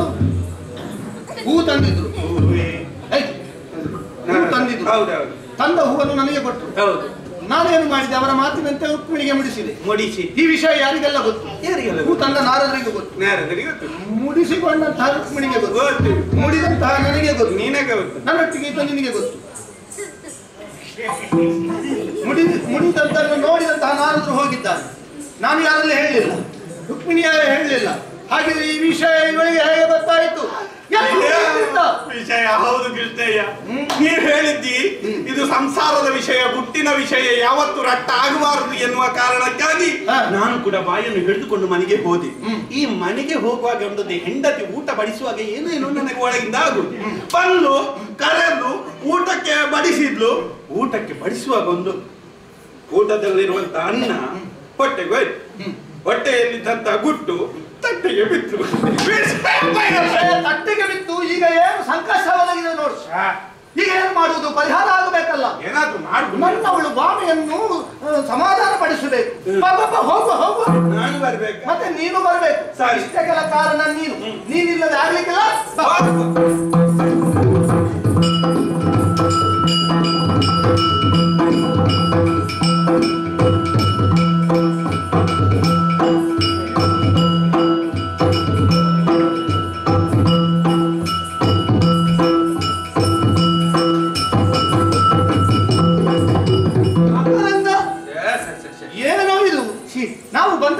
ಅಂತ ಯಾವುದಲ್ಲ ಒಂದು ಕೃಷ್ಣ ವಿಲಾಸ ಅಂತ ವಿಲಾಸ ಅಲ್ಲ, ಕೃಷ್ಣ ನಿವಾಸ ನಿವಾಸ. ಎಂತದೊಂದು ಕಸ ನೋಡಿದ್ಯಾ? ಹೌದಪ್ಪ! ಒಂದು ಅಂಗಳದಲ್ಲಿ ಇಷ್ಟು ಕಸ ಇದ್ರೆ ಅದೊಂದು ಮನೆ ಅಂತ ಹೇಳ್ತಾರ? ಹೇಳಿ ಯಾರ? ಹೇಳಿ ಯಾರ? ಮನೆ ಅಂದ್ರೆ ಹೇಗಿರ್ಬೇಕು? ಹೇಗಿರ್ಬೇಕು? ಕಸ ಎಲ್ಲ ಗುಡಿತು ಸ್ವಚ್ಛವಾಗಿಟ್ಟು ಹೌದಪ್ಪ. ಹೆಂಗಸರು ಬಂದು ಅಂಗಳದಲ್ಲಿ ಒಂದು ಸೆಗಣಿ ಹಾಕಿ. ಹೆಂಗಸರು ಸಗಣಿ ಹಾಕುದ? ಸೆಗಣಿ ಸಾರಿಸುವುದು. ಸಾರಿಸ್ಬೇಕಾದ್ರೆ ಹಟ್ಟಿಂದ ತಂದು ಹಾಕ್ಬೇಡ್ವಾ ಮತ್ತೆ ಗಂಡವೇ ಬಂದು ಸೆಗಣಿ ಹಾಕಿ ಅಲ್ವೋ ಮತ್ತೆ ಸಗಣಿ ಸಾರಿಸಿ. ಆಮೇಲೆ ಒಂದು ಮಂಗವಳ್ಳಿ ಎಲ್ಲ ಇಟ್ಟು. ಮಂಗವಲ್ಲಿ ನಿನ್ನ ತಲೆಗಿದೆ. ರಂಗವಳ್ಳಿ. ಎಲ್ಲ ಇಟ್ಟು. ಒಂದು ಇಟ್ಟಾರೆ. ಒಂದು ಮನೆ ಅಂತ ಹೇಳು. ಸರ್ ಇರುವಂತ ಮನೆ ಎನ್ನುವ ಹಾಗೆ ದೂರದಲ್ಲೇ ಗೊತ್ತಾಗ್ತದೆ. ಮೊದಲು ಹೀಗೆ ಒಂದು ಹಾಗೆ. ಈಗ ನಾವು ಬಂದದ್ದು ಸ್ವಲ್ಪ ತಡ ಆಯ್ತಾ. ಇದು ಪೂಜೆ ಮಂಗಳಾರತಿ ಆಗಿ ಗರ್ಭ ಕುಡಿದು ಬಾಗಿಲು ಹಾಕಿ ಇನ್ನು ಸ್ವಲ್ಪ ಹೊತ್ತು ನಿಲ್ವ. ಬೆಳಿಗ್ಗೆ ತೆರೆಯುವುದು ತೆರೆದ್ರು ತೆರೆದ. ಮಂಗಳಾರತಿ ಆಗುವುದು ನಮ್ಮ ಮುಖಕ್ಕೆ. ಬಾಮೆ ಸಿಟ್ಟಿನಿಂದ ಬಾಗಿಲು ಹಾಕಿದ್ದು. ಹೌದಪ್ಪ. ಈಗ ಬಾಗಿಲು ಏನು ಮಾಡುವುದು ಹೇಳಿ ಬಾಗಿಲು ತೆಗಿಬೇಕಲ್ಲ. ಹೌದು. ನೀನು ಬಾಮಮ್ಮನಿಗೆ ನಾನು ಅಂತ ಹೇಳಿದ್ರೆ ಬಹಳ ಪ್ರೀತಿ. ನನ್ನದೊಂದು ಸುಮಧುರವಾದಂತ ಸ್ವರ ಕೇಳಿತು ಸುಮಧುರವಾದಂತ ಸ್ವರ ಕೇಳಿದ ತಕ್ಷಣ ಬಾಗಿಲು ತೆಗಿತಾರೆ ಹೌದಾ? ಮತ್ತೆ ನಾನು ಕಡೆ ನೋಡ್ತೇನೆ. ಎಮ್ಮೆ ಸತ್ಯಮ್ಮೆ ಎಮ್ಮೆ ಸತ್ಯಮ್ಮೆ? ಸತ್ಯಮ್ಮೆ? ಅಲ್ಲ ಅಮ್ಮನನ್ನು ಕರೆಯೋದು ಆಗಲ್ಲ ಸತ್ಯಮ್ಮ. ಸತ್ಯ ಸತ್ಯ ಅದು ಬೇಡ ನಿನ್ನ ಬಾಯಲ್ಲಿ ಬೇಡ. ಸತ್ಯಮ್ಮ ಬೇಡ. ಹಾ. ಅದು ಯಾವ ಕಾಲದಲ್ಲಿಯೋ? ಅದಲ್ಲಿ ಸತ್ಯಮ್ಮ ಬೇಡ ಒಬಾಮಮ್ಮ. ಒಬ್ಬಮ್ಮ ಹೇ, ಬಾಮಮ್ಮ. ನೀನು ಕರೆದ್ರೆ ಬರ್ಲಿಕ್ಕಿಲ್ಲ ಒಂದು ಒಂದು ಬರ್ಲಿಕ್ಕಿಲ್ಲ ಒಂದು ಪ್ರಯತ್ನ ಬಿಡದಿರುವ ಇರಬಾರ್ದು. ಹಾಗೆ ಏನು ಉಪಾಯ ಮಾಡೋದು? ಉಪಾಯ ಉಂಟು. ಏನು? ಒಂದು ಎರಡು ಕೊಳ್ಳಿತ ತಕೊಂಡು ಬಂದು? ತಕೊಂಡು ಬಂದು. ಒಂದು ನೀನು ಇಡು. ಒಂದು ನನ್ನ ಕೈ. ನೀನು ಹೀಗೆ ಬಂದು ಎದುರಿನ ಬಾಗಿ. ನಾನು ಹೀಗೆ ಬಂದು ಹಿಂದಿನ ಬಾಗಿ. ಒಂದೇ ಬಾರಿಗೆ ಬೆಂಕಿ ಕೊಟ್ಟು ಬೆಂಕಿ ಕೊಟ್ಟು ಮನೆ ತಕ ತಕ ತಕ ತಕ ತಕ ಅಂತ ಉರಿಯುತ್ತದೆ ಒಳಗಿಂದ ಹೊಗೆ ಆವರಿಸುತ್ತದೆ. ಉಸಿರಾಟ ಕಷ್ಟ ಆಗ್ತದೆ. ಬಾಗಿಲು ಪಡಲ್ಲ ಹೊತ್ತದ್ದು ಹಾಗೆ ಮಾಡ್ತಾರೆ. ಹೇ, ಮನೆ ಸುಡುವುದಲ್ವೇನೋ? ಸುಡ್ಲಿ ಹೆಂಡತಿ ಸಿಗುದಿಲ್ವೇನು? ಮನದನ್ನೆಗೆ ಬೇಕಾಗಿ ಮನೆಯನ್ನು ಸುಡುವುದ. ಹಾಗಾಗುವುದಿಲ್ಲ ಮನೆಯೂ ಬೇಕು ಮನದನ್ನೆಯೂ ಬೇಕು. ಏನಾದ್ರೂ ಬೇರೆ ಉಪಾಯ ಇದ್ರೆ ಹೇಳು. ಎರಡೂ ಬೇಕು ಅಂತ ಆದ್ರೆ ಒಂದು ಕೆಲಸ ಮಾಡು. ಏನು? ಈಗ ಹೆಂಗಸರಿಗೆ ಸ್ವಲ್ಪ ಅವರದು ಒಂದು ವಿಷಯ ಹುಟ್ಟು ಹೇಳ್ಬೇಕು? ಅವರನ್ನು ಹೊಗಳಿದ್ರೆ. ಅವರೊಂದು ನೆಲ ಬಿಡ್ತಾರೆ. ಹಾ ಹಾ. ಮೇಲಕ್ಕೆ ಸಹ ಮುಟ್ಟುದಿಲ್ಲ. ಮತ್ತೆ? ಅರ್ಥದಲ್ಲಿ ಒಂದು ಬಾವಲಿ ನೇತಾಡಿದಾಗೆ ನೇತಾಡ್ತಾರೆ. ಆ ಸಂದರ್ಭದಲ್ಲಿ ನಾವು ಹಿಡಿಬೇಕು ಸ್ವಲ್ಪ ಹೊಗಳಬೇಕು ಆಗ ಮತ್ತೆ ನಾವು ಏನು ಹೇಳ್ತಾರೆ? ಈಗ ಬಾಂಬೆಯನ್ನು ಹೊಗಳಿದ್ರೆ ಅವಳು ನೆಲ ಬಿಡ್ತಾಳೆ ಬಾಗಿಲು ತೆಗಿತಾಳೆ. ತೆಗಿತಾಳೆ. ಹೌದಪ್ಪ. ಹೊಗಳಿಕೆ ನನಗೆ ಹೇಳಿ ಕೊಡುವೆ ಮತ್ತೆ? ಹೊಗಳ್ಬೇಕು. ಹೊಗಳ್ಬೇಕು. ಹೊಗಳ. ಓ, ವಾದ್ಯಗಂಧಿ.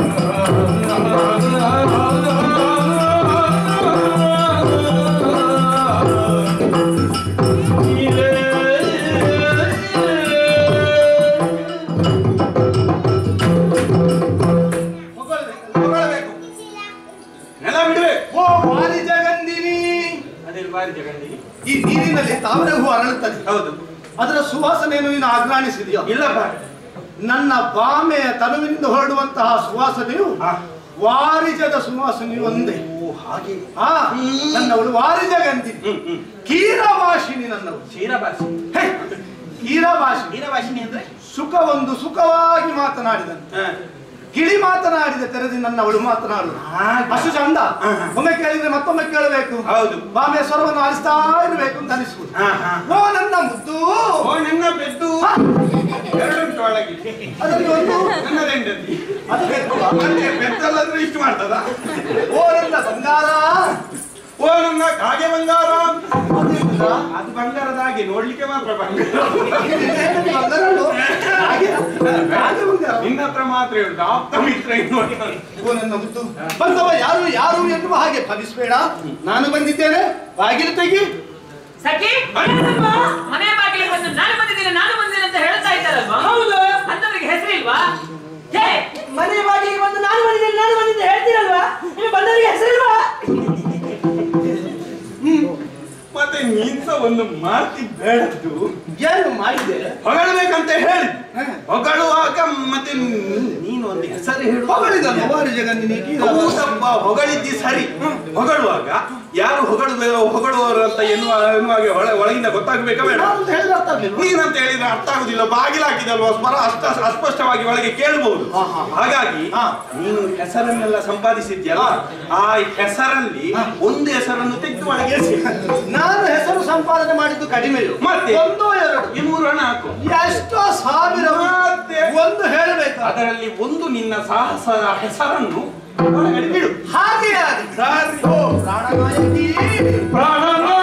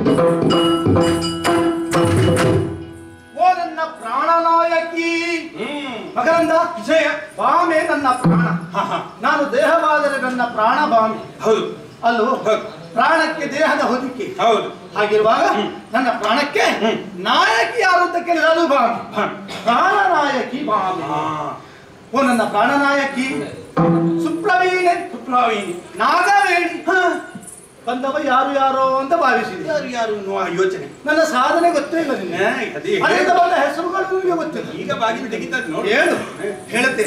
ಇನ್ನು ಎಳವೆಯಲ್ಲಿರುವಾಗ ಸಣ್ಣ ಇರುವಾಗ ಹೌದು ಒಂದು ಕುತ್ತಿಯನ್ನು ಬೆನ್ನಿನಲ್ಲಿ ಹಾಕಿಕೊಂಡು ನಾವು ಗುಡ್ಡೆಗೆ ಗೋಪಾಲಕರನ್ನು ದನಗಳನ್ನು ಕರ್ಕೊಂಡು ಹೋಗ್ತಾ ಇದ್ದೇವೆ. ಹೌದು. ಅಲ್ವೋ ಆವಾಗ ಗೋಪಾಲಕರಿಗೂ ಗೋವುಗಳಿಗೂ ಬೇಸರ ಬರಬಾರದು ಎನ್ನುವ ಕಾರಣಕ್ಕಾಗಿ ನಾನಲ್ಲಿ ವೇಣುನಾದವನ್ನು ಹೊರಡಿಸ್ತಾ ಆ, ಇದ್ದೆ. ಆ ವೇಣುಗೋಪಾಲ ನಾನು ಬಂದಿದ್ದೇನೆ.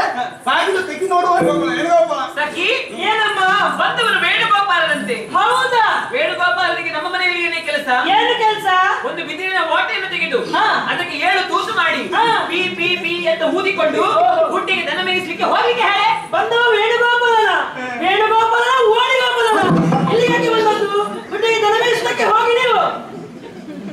ಅಲ್ಲ ನನಗೊಂದು ಅನುಮಾನ ಕೃಷ್ಣಯ್ಯ ಅದು ಬಿದಿರಿನ ಓಟಿಗೆ ಏಳು ತೂಟು ಮಾಡಿದ್ರೆ ಪಿ ಪಿ ಪಿ ಅಂತ ಶಬ್ದ.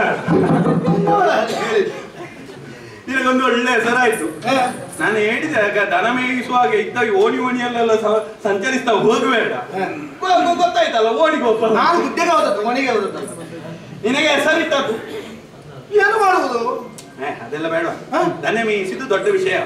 ನಮ್ಮ ತುಂಬಾ ಮಂದಿ ಜನ ಅದ ಕಾಯಕವೇ ಅದು ಅಲ್ಲು ಹಾಗಲ್ಲ ಈಗ ವೇಣುಗೋಪಾಲ್ ಅಂತ ಹೆಸರು ಹೇಳಿದ್ದು ಸಣ್ಣದಾಯ್ತಾ? ಸಣ್ಣ ಹೆಸರು ಸಣ್ಣದಲ್ಲೂ. ನೀನು ಮಾಡಿದಂತ ಶೌರ್ಯದ ಪ್ರದರ್ಶನ ಅದ್ರಲ್ಲಿ ಗೊತ್ತಾಗ್ಲಿಲ್ಲ ಅಂತ. ಏನು ಮಾಡೋಣ? ನೀನು ಅಸಾಮಾನ್ಯ ಅಲ್ಲ. ನೀನು ಮಾಡಿದಂತ ಶೌರ್ಯ ಸಾಧನೆಗಳನ್ನೆಲ್ಲ ಅಲ್ಲಿ ಹೇಳುವಾಗ. ನನ್ನಷ್ಟಕ್ಕೆ ಗೊತ್ತಾಗ್ತದೆ. ಒಂದು ಯಾವುದಾದ್ರೂ ಇದ್ದು ಹೇಳು ನನ್ನ ಸಾಧನೆ ಸಾಧನೆ. ಒಂದು ಎರಡು ಹೌದು. ಒಂದು ಹೇಳ್ತೇನೆ. ಒಂದೇ ಸಾಕು. ನಾನೇನು ಸಾಮಾನ್ಯದವನು ನಾ ಹೇಳೆಯ ತುಳಿದು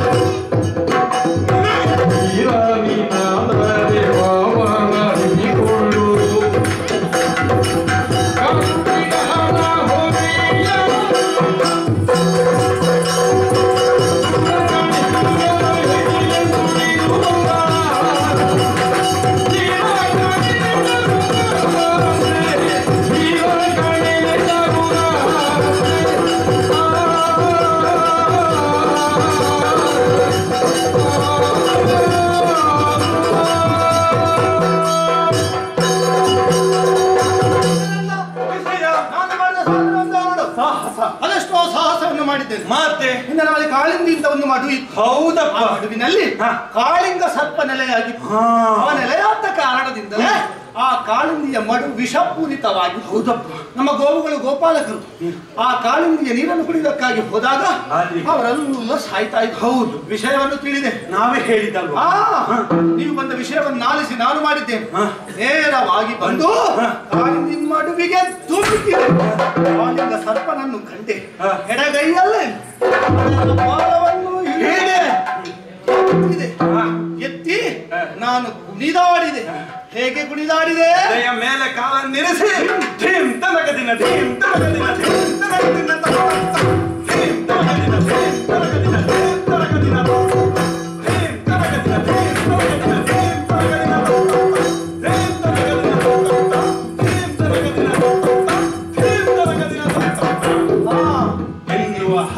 ನಿನ್ನ ನಾಟ್ಯ ವೈಭವ. ಕಾಲಿಂಗ ಮರ್ದನವನ್ನು ಮಾಡಿದ ನಾನು ಬಂದಿದ್ದೇನೆ ಬಾಗಿಲಿಗೆ ಹಾಗೆ.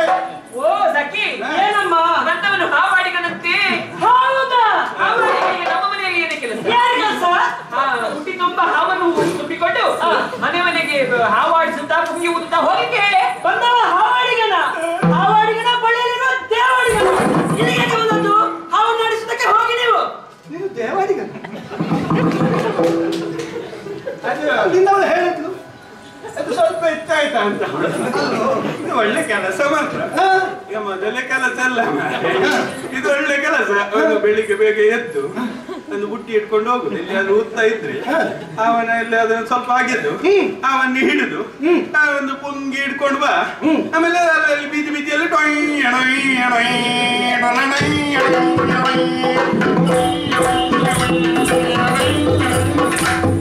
ಅವಳು ತಮಾಷೆ ಮಾಡಿದ್ದಲ್ಲದೆ ನಿನ್ನದು ಬೇರೆ ತಮಾಷೆ ನಾನು ಅದನ್ನ ವಿವರಿಸಿ ಹೇಳಿದ್ದು ನಿನಗೆ ಅರ್ಥ ನಿನ್ನ ಆಗಿಲ್ಲ ಅಭಿನಯ ವಿವರಣೆ ಎಲ್ಲ ನನಗೆ ಬೇಡ ನನಗೆ ಅರ್ಥ ಆಗುತ್ತೆ ಆಯ್ತಾ? ಅರ್ಥ ಆಯ್ತಾ? ಹಾ ಮತ್ತೆ ಬೈಯುವಾಗ ಅರ್ಥ ಆಗದೆ ಮತ್ತೆ ಯಾವಾಗ ಅರ್ಥ ಆಗುತ್ತೆ ಈಗ ನಾನು ಮಾಡಿದ ಸಾಧನೆಯನ್ನು ಹೇಳಿದ್ರೆ ಬೇರೆ ಆಗಲಿಲ್ಲ. ಬೇರೆ ಹೇಳ್ತೇನೆ.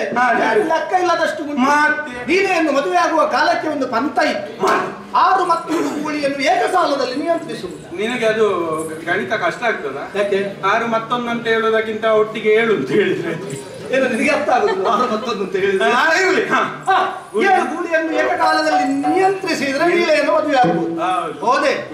ಹೋದೆ ಗೋಳಿಗಳನ್ನು ಮದಭರಿತವಾದಂತಹ ಗೂಳಿಗಳನ್ನು ಏಕಕಾಲದಲ್ಲಿ ನೀಲೆಯನ್ನು ಮದುವೆಯಾದ ನೀಲಕಾಂತ ನಾನು ಬಂದಿದ್ದೇನೆ ಬಾಗಿಲು ತೆಗಿ. ಈಗ ತೆಗಿತಾರೆ ಬಾಯಿ. ಸಖಿ ಏನಮ್ಮ ಎತ್ತು ಓಡಿಸುವವರಿಗೆ ನಮ್ಮ ಮನೆಯಲ್ಲಿ ಏನು ಕೆಲಸ? ಏನು ಕೆಲಸ? ಎತ್ತುಗಳನ್ನು ಹಿಡ್ಕೊಂಡು ಹೋಗ್ಲಿಕ್ಕೆ ಹೇಳಿ. ಎತ್ತೋಡಿಸುವವರಿಗೆ ಇಲ್ಲೇನು ಕೆಲಸ? ಕಮಲಾಗುವಲ್ಲಿಗೆ ಹೋಗಿ ನೀವು. ಎಲ್ಲಿಟ್ಟು ಈಗ? ಈಗ ಎಲ್ಲಿ? ಮತ್ತೆ ನಿನ್ನದ್ದು ಸಹ ಬೇಡದ್ದೆ. ನಾನು ಹೇಳಿದಂತ ನೀನು ಒಟ್ಟು ಹೇಳ್ತಾ ಹೋಗುದೆ. ಈಗ ನೋಡು ಒಬ್ಬನಿಗೆ ಇಬ್ಬರ ಹೆಂಡ. ಒಂದು ಕೂಸಮ್ಮ ಮತ್ತೊಂದು ಶೇಷಮ್ಮ ಅಂತ ಇರುತ್ತೆ. ಆ ಇಬ್ಬರ ಹೆಂಡತಿಯಲ್ಲಿ ಇವ ಶೇಷಮ್ಮನ ಮನೆಗೆ ಹೋಗು. ಅವಳು ಬಾಗಿಲಾಗಿರ್ತಾಳೆ.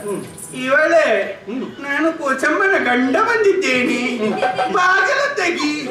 ಅಂತ ಹೇಳಿದ್ರೆ ಯಾವ ಹೆಂಡತಿ ಆದ್ರೂ ತೆಗಿತಾರ ಒಳಗಿರುವಂತ ಏನಾದ್ರೂ ತೆಗೆದು ನಿನ್ನ ಮುಸುಳಿಗೆ ಅದೇ, ಅವಳ ಮನೆಗೆ ಹೋಗಿ ಇವಳ ಗಂಡ ಬಂದಿದ್ದೆ ನೀಲ ವಿಷಯ ಹೇಳಿದ್ರೆ ಆಗ್ಲಿಲ್ಲ ಅದೇ ಯಾವುದು ಬೇಡ. ಮತ್ತೆ? ಏನಿದ್ರು ಅರ್ಥ ಆಗಬೇಕು ಅಂತ ಆದ್ರೆ ಹಾ. ನಮ್ಮದು ಏನಾದ್ರು ನೇರ. ನೇರ. ದಿಟ್ಟ. ನಿರಂತರ. ನಿರಂತರ. ನೇರವಾಗಿ ಕಮಲಕೋರ ನೀವು ಕುಚಯುಗೆ.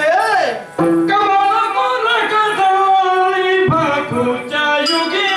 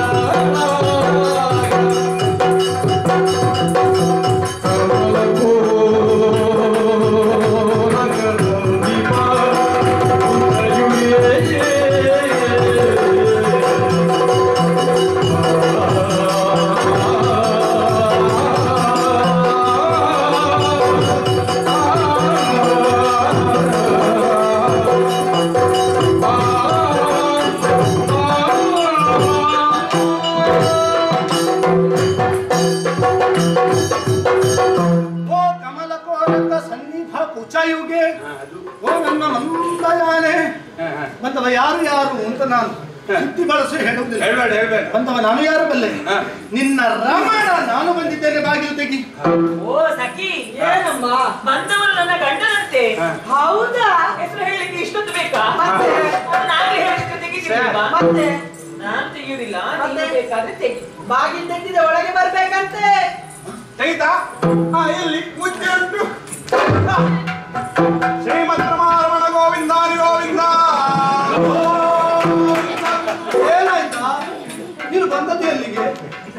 ಗರ್ಭಗುಡಿ ಪ್ರವೇಶ ಮಾಡಿದ್ದಲ್ಲ. ಇದು ದೂರದವರೆಲ್ಲ ಇದ್ರೆ ಬೇಗ ಬರಲಿ. ಹಾಗೆ. ಒತ್ತು ಮಾಡಿದ್ರೆ ಪರೀಕ್ಷೆ ಆಗ್ಬೇಕಲ್ಲ. ಮುಸುಕು ತೆಗಿಯುವ ಆಗ ಅವರು ಸಣ್ಣದಲ್ಲ. ಅದೇ ಅವರು ಮಲಗಿದ್ರು. ಮಲಗಿದ್ದು ಬಂದದ್ದು ಗೊತ್ತಾಗುದಿಲ್ಲ ಅಂತ. ಕರುಣಾ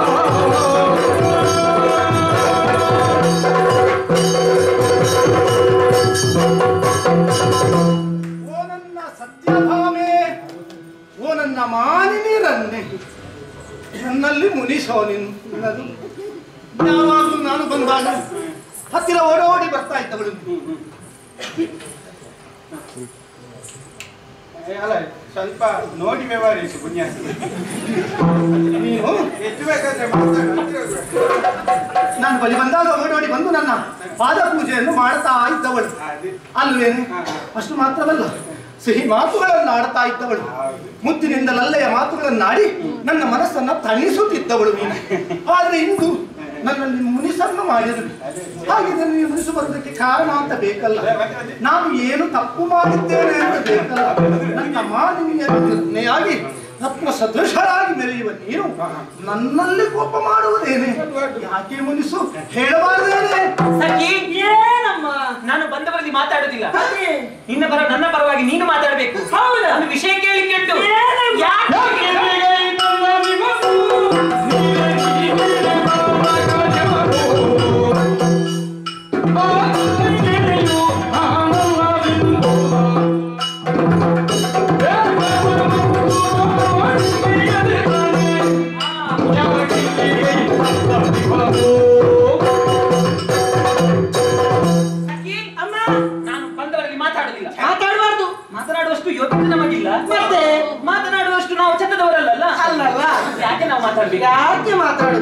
ವ್ಯವಹಾರವೂ ಇಲ್ಲ. ಇಲ್ಲ. ನನ್ನ ಪರವಾಗಿ ನೀನು ಮಾತಾಡಬೇಕು. ಹೋಗಿ ನಿಮ್ಮ ಪರವಾಗಿ ನಾನು ಮಕರಂದ? ಕೃಷ್ಣಯ್ಯ ಅಲ್ಲಿ ಪರವಾಗಿ ಬರ್ತದಂತೆ. ನಮ್ಮದಾಗಾದ್ರೆ ಪರವಾಗಿಲ್ವಾ? ನಮ್ದು ಪರವಾಗಿಲ್ವಾ? ನಮ್ದು ಪರವಾಗಿಲ್ವಾ? ಹೀಗೆ ಬಾ.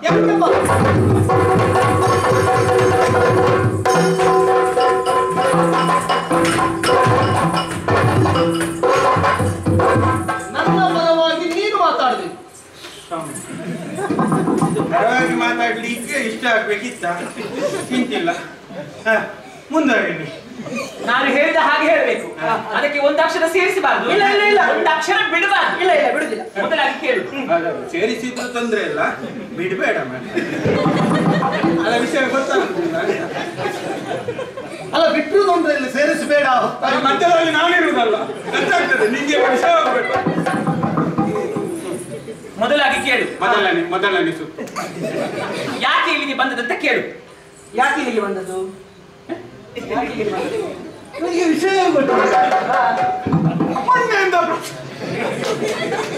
ಇಲ್ಲ ನಾನು ನಿಮ್ಮಲ್ಲೇ ಹೇಳಿದಲ್ಲ ಅಲ್ಲೀಗ ಯಾಕೆ ಇಲ್ಲಿಗೆ ಬಂದದ್ದು ನಾನು ಇಲ್ಲಿಗೆ ಬಾರದೆ ಮತ್ತೆ ಈ ಹೊತ್ತಿನಲ್ಲಿ ಎಲ್ಲಿಗೆ ಹೋಗಬೇಕು ಅದು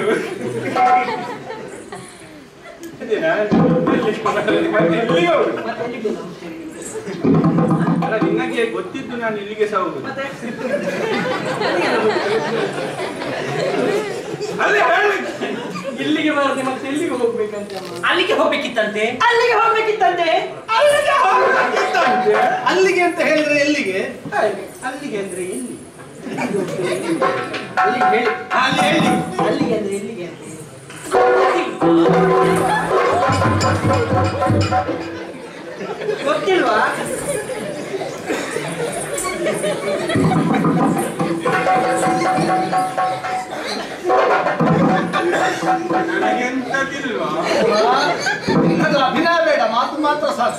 ಗೊತ್ತಿಲ್ವಾ? ಗೊತ್ತಿಲ್ಲ ಅಂತ ಹೇಳಿ. ಗೊತ್ತಿಲ್ಲ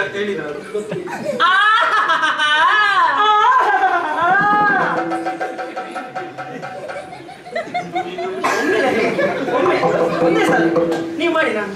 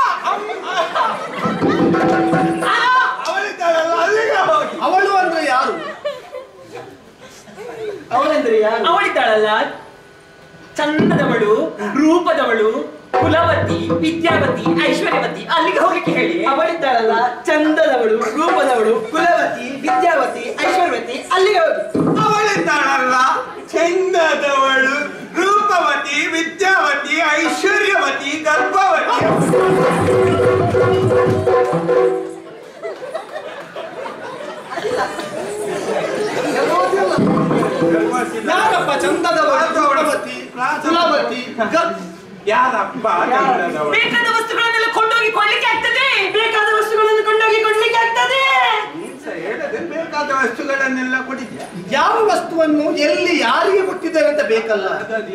ಕೊಟ್ಟದ್ದು ಗೊತ್ತಿಲ್ವಾ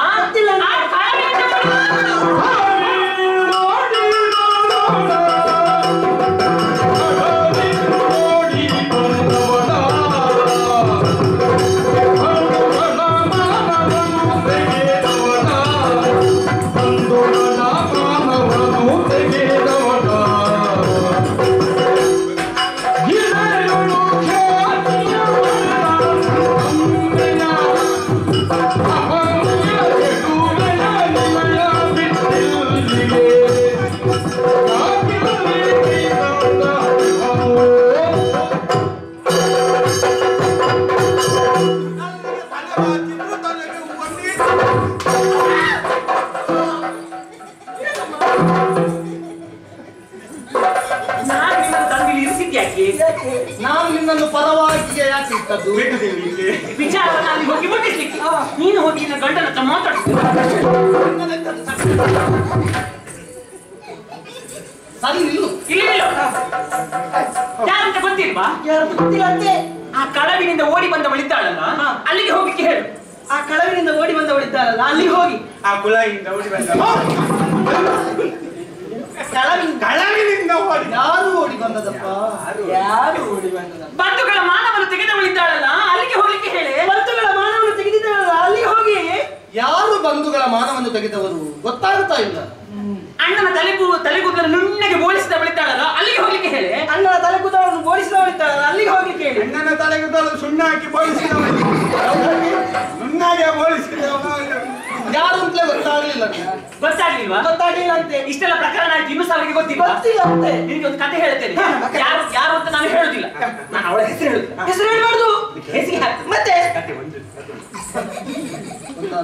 ಅವಳೊಬ್ಳಿದ್ದು ಅವಳು. ಆ ಕನ್ನೆ ಸಣ್ಣವಳಿದ್ದು. ಅಪ್ಪರ ತೊಡೆಯಲ್ಲಿ ಮಲಗಿದ್ಲು. ಅಷ್ಟೊತ್ತಿಗೆ ಆಗುವಾಗ ಭಾಗವತೋತ್ತಮರು ಬಂದು ಭಾಗವತರು. ಮೊದಲೇ ಕಾರ್ಯಕ್ರಮ ಇಲ್ಲ ಇಲ್ಲ ಅಂತ ಹೇಳಿ. ನೀವು ಅಲ್ಲಿಗೆ ಹೋದಂತ ಶ್ರೀಕೃಷ್ಣನ ಗುಣಗಾನವನ್ನು ಮಾಡಿದ್ರು ಅಕ್ಷರದ ಹುಡುಗಿ ಯಾವಾಗಲೇ ಶ್ರೀಕೃಷ್ಣನ ಮೇಲೆ ಪ್ರೀತಿ ಹುಟ್ಟಿದ್ದು. ಆನಂತರ ನೋಡ್ಬೇಕಿತ್ತು ಅವಳು ಕೃಷ್ಣನ ಭಕ್ತಿ ದೇವರೇ ಕೃಷ್ಣ ಕೃಷ್ಣ ಕೃಷ್ಣ ಕೃಷ್ಣ ಕೃಷ್ಣ. ಹಾ, ಬೆಳೆ ದೊಡ್ಡವಳಾದ್ಲು. ದೊಡ್ಡವಳು. ನಾನು ಮದುವೆ ಆಗುದಾದ್ರೆ ನಾನು ಕೃಷ್ಣನ ಮಾತ್ರ ಮದುವೆ ಆಗುದೇನು ಹಾಗೆ ಅವಳದು ನಿರ್ಧಾರ. ಇಷ್ಟೊತ್ತಿಗೆ ಆಗುವಾಗ ಬಸದೇವ ಬ್ರಾಹ್ಮಣನ ಕರೆದು ಕರೆದು ಪತ್ರವನ್ನು ಬರೆದು ಬರೆದು ಅಣ್ಣ ನಿಶ್ಚಯ ಮಾಡಿ ಶಿಶುಪಾಲನಿಗೆ. ಶಿಶುಪಾಲನಿಗೆ? ಇವಳು ಮದುವೆ ಆಗ್ಬೇಕಂತ ಹೇಳಿದ್ದು ಕೃಷ್ಣನನ್ನು. ಬುದ್ಧಿಯಲ್ಲಿ ಬ್ರಾಹ್ಮಣನ ಹತ್ರ ಓಲೆಯನ್ನು ಕಳುಹಿಸಿದ್ದು. ಕಳಿಸು. ಕಾಳಿಕ ಹುಡುಗಿ ಬರಲಿಕ್ಕೆ ಹೇಳಿದ್ದು. ಏನು ಹುಡಿ ಹಾಕಿದಾಳೋ? ಹುಡಿ. ಹೌದಾ? ಹೌದಪ್ಪ. ಹಾ. ಇವರಿಗೆಲ್ಲ ಅದೇ ಕತೆ. ಹುಡಿ ಹಾಕಿದ್ದು ಹಾಕಿದ್ದು. ಹಾಕಿ ಓಲೆಯನ್ನು ಮಡಚಿದ್ದು. ದೇವರು ಹೀಗೆ ಬಿಡಿಸಿದ್ದು ತಡ. ದೇವರ ಹುಡಿ ಎಲ್ಲ ಒಳ ಮೂಗಿನೊಳಗೆ ಹೋಯ್ತಾ? ಅವಳ ವಶವಾಗಿ. ಕಾಳಿಕ ಹುಡುಗಿ ಬರ್ಲಿಕ್ಕೆ ಹೇಳಿದ್ದು. ಇವರು ಬರದಿದ್ದಂತಹ ಪಕ್ಷದಲ್ಲಿ ಏನ್ ಮಾಡಿದ್ದು? ಏನ್? ಅವಳ ತಲೆ ಕೂದಲು ಅಂತಲ್ಲ ಆ ಜಡೆಯನ್ನು ಕುತ್ತಿಗೆಗೆ ಸುತ್ತಿಕೊಂಡು ನಾನು ಸಾಯ್ತೇನೆ. ಅವಳದ್ದು. ಅಲ್ಲಿವರೆಗೆ ಬರ್ಲಿಕ್ಕಾಗಿದೆ. ಹೌದು. ಅವಾಗ ಮೇಲೆ ಸಾಹಿತ್ಯ ಅಂತ ನಾಟಕ. ಹೌದು. ಕಣ್ಣಿಗೆ ಸುರಿಸಿದ್ದೆ ಬರ್ತಾರಲ್ವ ಬರ್ತಾರಲ್ಲ. ಹೀಗೆ ಬಂದು ಪ್ರತ್ಯಕ್ಷ ಆದ್ರು. ಪ್ರತ್ಯಕ್ಷ. ಮದುವೆ ಆಯ್ತು. ಆ ಬಂದಿದ್ದಾಳಲ್ಲ? ಆ ಕಡಲಿನಿಂದ ಓಡಿಕೊಂಡು ಬಂದಿದ್ದಾಳಲ್ಲ? ಅಲ್ಲಿಗೆ ಹೋಗ್ಲಿಕ್ಕೆ ಹೇಳಿ. ಅಲ್ಲಿ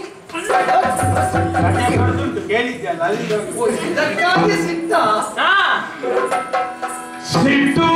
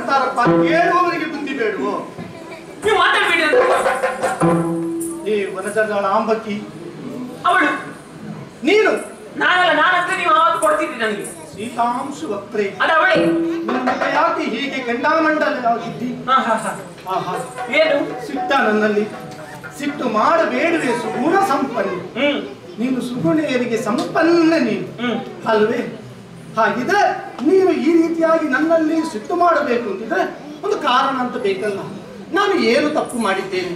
ಅಲ್ಲಿಗೆ ನಾನಿದ್ದಂತಹ ಘನವಸ್ತುವಾದರೂ ಏನು? ಒಂದೂ ನನಗೆ ಗೊತ್ತಾಗುತ್ತಾ ಇಲ್ಲ. ನಾನು ಮಾಡಿದ ತಪ್ಪೇನು? ಸ್ವಲ್ಪ ವಿವರಿಸಿ ಹೇಳ್ತೀಯಲ್ಲ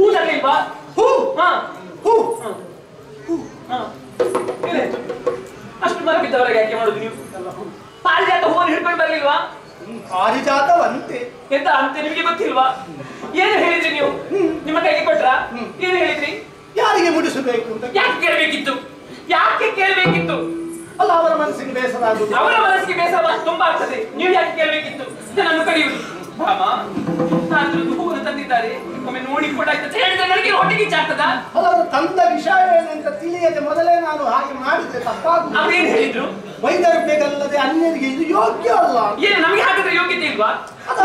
ನನ್ನ- ರೂಪ ಅಲ್ವಾ ನನ್ನಲ್ಲಿ ನಾನು ಕುಲವತಿ ಅಲ್ವಾ? ನಾನು ವಿದ್ಯಾವತಿ ಅಲ್ವಾ? ಯಾಕೆ ಹೀಗೆ ಮಾಡಿದ್ರಿ? ಅದು ಅವರು ಹೇಳಿದ್ದಕ್ಕಾಗಿ ಮಾಡಿದೆ. ಓ ಅವಳಿಗೆ ಸೀರೆ ಉಡಿಸಿದ್ಯಾರು? ನಾನು. ಅವಳ ಕೈಯನ್ನು ಮುರಿದೋಗಿತ್ತ? ಅವಳಿಗೆ ಕುಪ್ಪಸ್ ತೊಡಿಸಿದ್ಯಾರು? ಅವಳ ಕೈಯನ್ನು ಸೊಟ್ಟೆ ಕಟ್ಟಿ ಹೋಗಿತ್ತ? ಕೆಲವೊಂದು ಸಲ ತೊಡಿಸಲಿಲ್ವ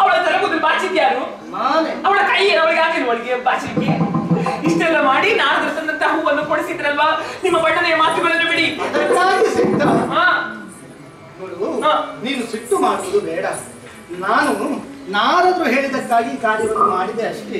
ಮತ್ತೆ ನಿನಗೆ ಹೂ ಯಾಕೆ? ಹೂವಿನಂತ ಗಂಡ ನಾನಿಲ್ಲವೇನೆ ಒಂದು ತಂದು ತೋರಿಸುದಪ್ಪ ಅವ್ರಿಗೆ ಎಂಟು ಮಂದಿ ಇರ್ತಾರೆ ಅಂತ ಗೊತ್ತುಂಟು. ಒಂದು ಎಂಟು ಹೂ ತರ್ಲಿಕ್ಕೆ ಸಂಕಟ? ನಿನಗೆ ಬಿಡು. ಒಂದು ಹೂ ಹಿಡ್ಕೊಂಡು ಬಂದು ಏನಕ್ಕೆ ಬೆಳಿಗ್ಗೆ ತೊಡಿಸ್ಬೇಕಂತ ಹೇಳಿದ್ರು. ನೀನು ಅದಕ್ಕೆಲ್ಲ ತಲೆ ಬಿಸಿ ಮಾಡುವುದೇ ಬೇಡ. ಮತ್ತೆ? ನಿನಗೆ ಈ ಸಲ ಹೂ ಅಲ್ಲ.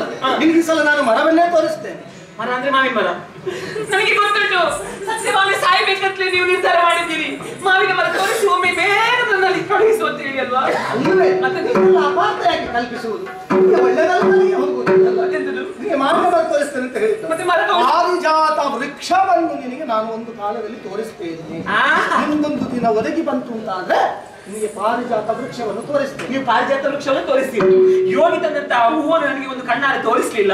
ಈಗ ನೀವು ಪಾರಿಜಾತ ವೃಕ್ಷವನ್ನು ತೋರಿಸ್ತೀರಿ ಅಂತ ಹೇಳ್ತೀರಿ ನಿಮ್ಮ ಬಣ್ಣದ ಮಾತುಗಳನ್ನು ನಿಮ್ಮ ನಾಟಕದ ಮಾತುಗಳನ್ನು ಬಿಡಿ. ನನಗೆ ನಂಬಿಕೆ ಬರುವುದಿಲ್ಲ ನಂಬಿಕೆ ಬರಬೇಕಿದ್ರೆ ಏನು ಮಾಡಬೇಕು? ನಿಮ್ಮ ಕರ್ನಾಟಕ ಭಾಷೆ ಕೊಡ್ಲಿಕ್ಕೆ ಆಹಾ. ಮತ್ತೆ ನನ್ನ ಕನ್ನಡ ಭಾಷೆಯನ್ನು ಕೊಡಿ. ನಿನ್ನ ಕೈಯ ಮೇಲೆ ಕೈ ಇಟ್ಟು ಹೇಳಿದೆ. ನೋಡು ಮಾರಾರಿಯ ಪದದಾಣೆಗಾಗಿಯೂ. ನಿನ್ನನ್ನು ದೇವಲೋಕಕ್ಕೆ ಕರ್ಕೊಂಡು ಹೋಗುತ್ತೇನೆ. ಪಾರಿಜಾತ ವೃಕ್ಷವನ್ನು ತೋರಿಸ್ತೇನೆ ಅಲ್ಲಿರುವ ಪುಷ್ಪವನ್ನು ಎಷ್ಟು ಬೇಕಿದ್ರೂ ನೀನು ಮುಡಿದುಕೊಳ್ಳುವಿ. ಸತ್ಯ ಅಲ್ವಾ? ಹೌದೇ. ನನ್ನ ಕೋಪ ಹೋಯ್ತು ಈಗ ಹಾಗಿದ್ರೆ ಎಷ್ಟರವರೆಗೆ ಮಾಡಿದ್ದು? ನಾನು ನಾಟಕ ಮಾಡಿದ್ದು. ನೀವು ನಾಟಕ ಮಾಡಿದ್ದ? ಹೌದು. ನಾನು ಮತ್ತೆ ನಾನು ಅದೇ ಮಾಡಿದ್ದಲ್ಲಿ ನೀನು ಹೋಗುದಲ್ಲಿಗೆ ಅಲ್ಲ ನೀವು ನಾಟಕ ಮಾಡಿದ್ದು ಅಂತ ಹೇಳ್ತೀರಿ. ಸತ್ಯ ಈಗ ಸತ್ಯ ನಾನು ಕೂಗುದು. ಹೌದಾ? ಹೌದು. ಹೋಗಬೇಡ. ನಿನ್ನ ಈ ಅಳುಮರೆಯನ್ನು ಕಾಣುವುದಕ್ಕೆ ನನಗೆ ಸಾಧ್ಯ ಇಲ್ಲ ಭಾಮ. ನೀನು ನನ್ನ ಪ್ರೀತಿ ಪಾತ್ರವಲ್ಲದೆ? ನೋಡು ಮುಂದೊಂದು ದಿನ ಕಾಲವಧಿಗೆ ಬಂದಾಗ ನಿನಗೆ ಪಾರಿಜಾತ ವೃಕ್ಷವನ್ನೇ ತೋರಿಸ್ತೇನೆ. ಹೌದಲ್ವಾ? ಹೌದು. ಹೀಗೆ ಬನ್ನಿ ಹೀಗೆ ಬನ್ನಿ.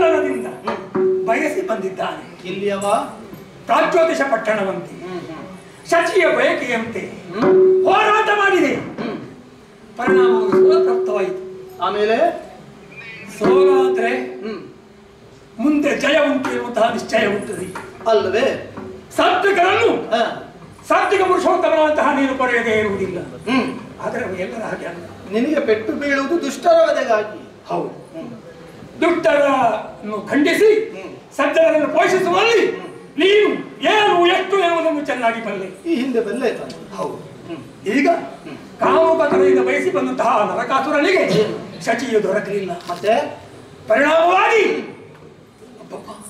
ಅಬ್ಬಬ್ಬ, ನನ್ನ ಮಾತೆ ಮಹಾತಾಯಿ ಲೋಕದ ಕಣ್ಣು ಅತಿಥಿ ದೇವಿಯ ಕಿವಿಯೋಲೆಗಳನ್ನು ಬಲಾತ್ಕಾರವಾಗಿ ಉಳಿದ ವರುಣನ ಪಾಶವಂತೆ ವರುಣನ ಮಣಿಶೈಲವಂತೆ ನವನಿಧಿಯನ್ನೂ ಕೂಡ ಒಯ್ದು ತನ್ನ ಭಂಡಾರದಲ್ಲಿ ಸೇರ್ಪಡೆಗೊಳಿಸಿದ್ದಾನೆ. ಪರಿಣಾಮವಾಗಿ ನಾಲ್ಕದ ಸಿರಿ ಹೋದರೆ ಭೂಲೋಕ ಅರಾಜಕತೆ ಆಗ್ತದೆ. ಅದನ್ನು ಪರಿಹರಿಸಿ ಕ್ಷೇಮವನ್ನು ಲೋಕಕ್ಕೆ ಒದಗಿಸಲಿ.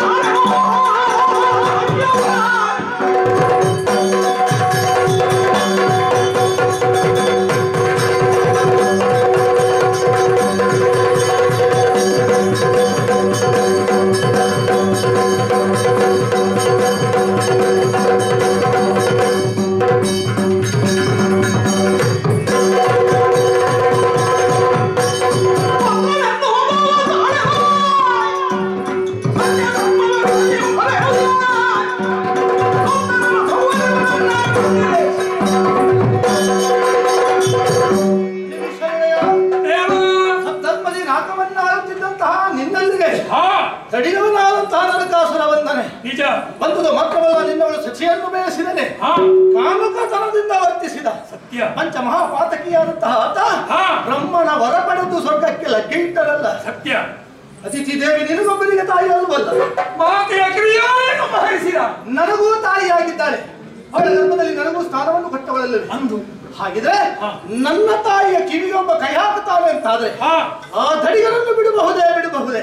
ವರುಣನ ಮನುಷ್ಯನವೋ ಯಮನ ಪಾಶವೋ ಕುಬೇರನ ಭಂಡಾರಕ್ಕೆ ಕೈ ಹಾಕಿದಂತಹ ದಡಿಗ ನರಕಾಸುರನನ್ನ ಕಿರುದು ದಿವಸಗಳಲ್ಲಿ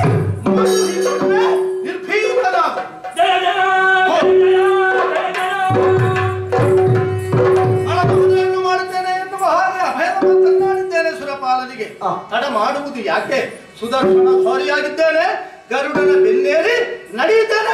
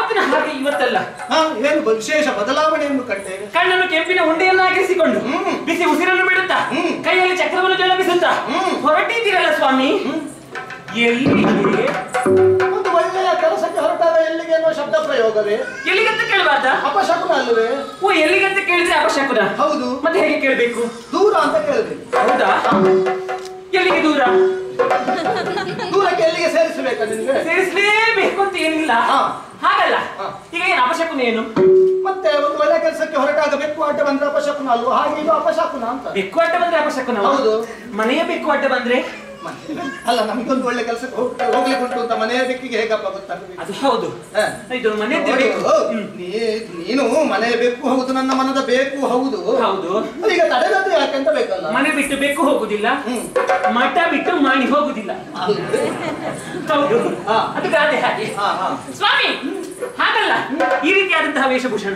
ಈ ರೀತಿಯಾದಂತಹ ಈ ಉಡುಗೆ ತೊಡುಗೆಗಳು ಈ ವಸ್ತ್ರ ಈ ಕವಚ ಹ್ಮ್. ಈ ಇದು ಚಕ್ರ ಗರುಡನನ್ನು ಆಹ್ವಾನಿಸಿದ್ದೀರಿ. ಗರುಡ ಈಗ ನನಗೆ ಅಗಲಿಸು. ಈಗ ನನಗೆ ಗೊತ್ತಾಯ್ತು. ಎಲ್ಲಿಯೋ ಒಂದು ಚಂದದ ಹೆಣ್ಣನ್ನು ಕಾಣಕ್ಕೆ ಹೊರಟಿರ್ಬೇಕು. ಹಿಡಿದುಕೊಂಡು ನಾನು ಚಂದದ ಹುಡುಗಿಯನ್ನು ಕಾಣೋದಕ್ಕೆ ಹೋಗ್ತಾರೆ ಅಲ್- ಅಲ್ಲ ಅವಳು ಎತ್ತರ ಇದ್ದಾಳ? ದಪ್ಪಗಿದ್ದಾಳ ಉಳ್ಳಗಿದ್ದಾಳ ತೆಳ್ಳಗಿದ್ದಾಳ ಬೆಳ್ಳಗಿದ್ದಾಳ ಅಗಲ ಇದ್ದಾಳ ಬಿಳಿ ಇದ್ದಾಳ ಕಪ್ಪಿದ್ದಾಳ ಯಾರಿಗೆ? ಯಾವ್ದು ಎಷ್ಟು ಇದ್ದಾಳೆ ಅಂತ ಹೇಳುವುದಿಲ್ಲ. ನಿಮ್ಮಷ್ಟು ದಪ್ಪ ಇಲ್ಲ. ಹೌದಾ? ನಾನು ನಿಮಗೆ ದಪ್ಪ ಆಗ್ತಲ್ಲ ಈಗ. ಹುಡುಗಿಯನ್ನು ಕಾಣುವುದಕ್ಕಾಗಿ ದಪ್ಪ ಇದ್ರು ಚಟ್ಟೆ ಇದೆ ಹುಡುಗಿಯನ್ನು ಕಾಣುವುದಕ್ಕಾಗಿ ಹೊರಟವರೆಲ್ಲ. ಬೇರೆ ವಿಷಯ ನೋಡಿ ನೋಡಿ ಈಗ ಸಪರ ಆಗಿದೆ. ಇಂಥದ್ದು ಇರ್ಲಿ ಬೇರೆ ವಿಷಯಕ್ಕೆ ಹೊರಟದ್ದು. ಹಾಗಲ್ಲ ಸ್ವಾಮಿ. ಇದೀಗ ನಾನು ಕೇಳು ಇಂಥದ್ದು ಗೊತ್ತುಂಟಾ? ಹೇಳಿ ಹೋಗುವಂತಹ ವಿಚಾರ ಯಾವ ಕಡೆಗೆ? ಅದು ಯಾವ ಬಂದ ಹಾಗಾಯ್ತು ನನಗೆ? ಅವ ಯಾಕೆ ತೆರೆದಾಕಿಸಿಕೊಂಡು ಬಂದದ್ದು? ಇದು ಕರಡ ಯಾಕೆ? ಹೇಳಿ ಸ್ವಾಮಿ.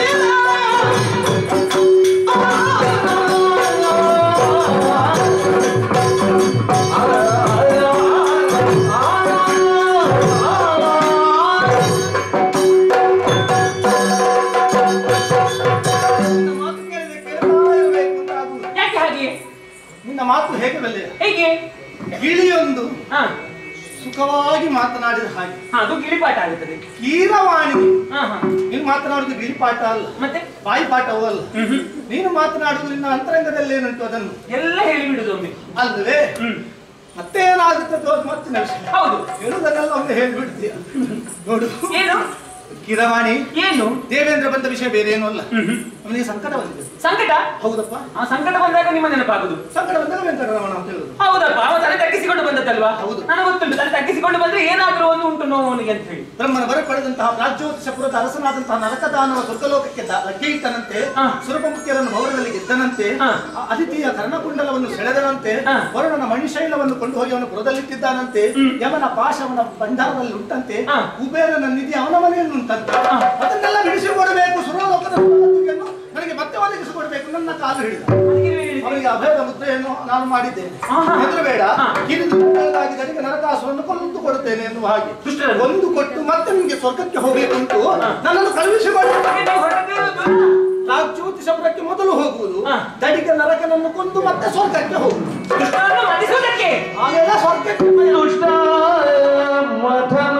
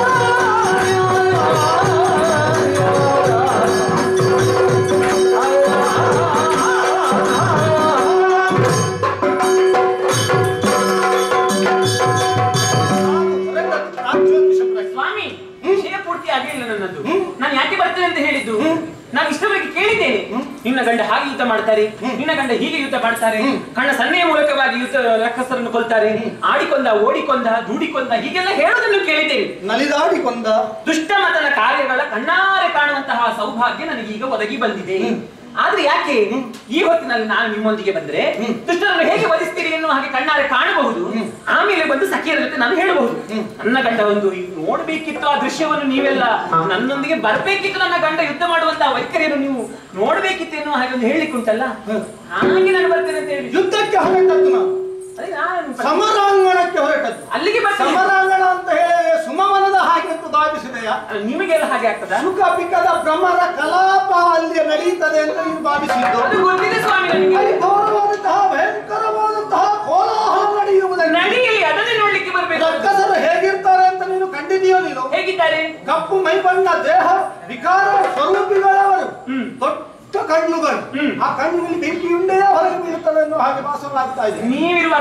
ಯಾಕೆ ಸ್ವಾಮಿ.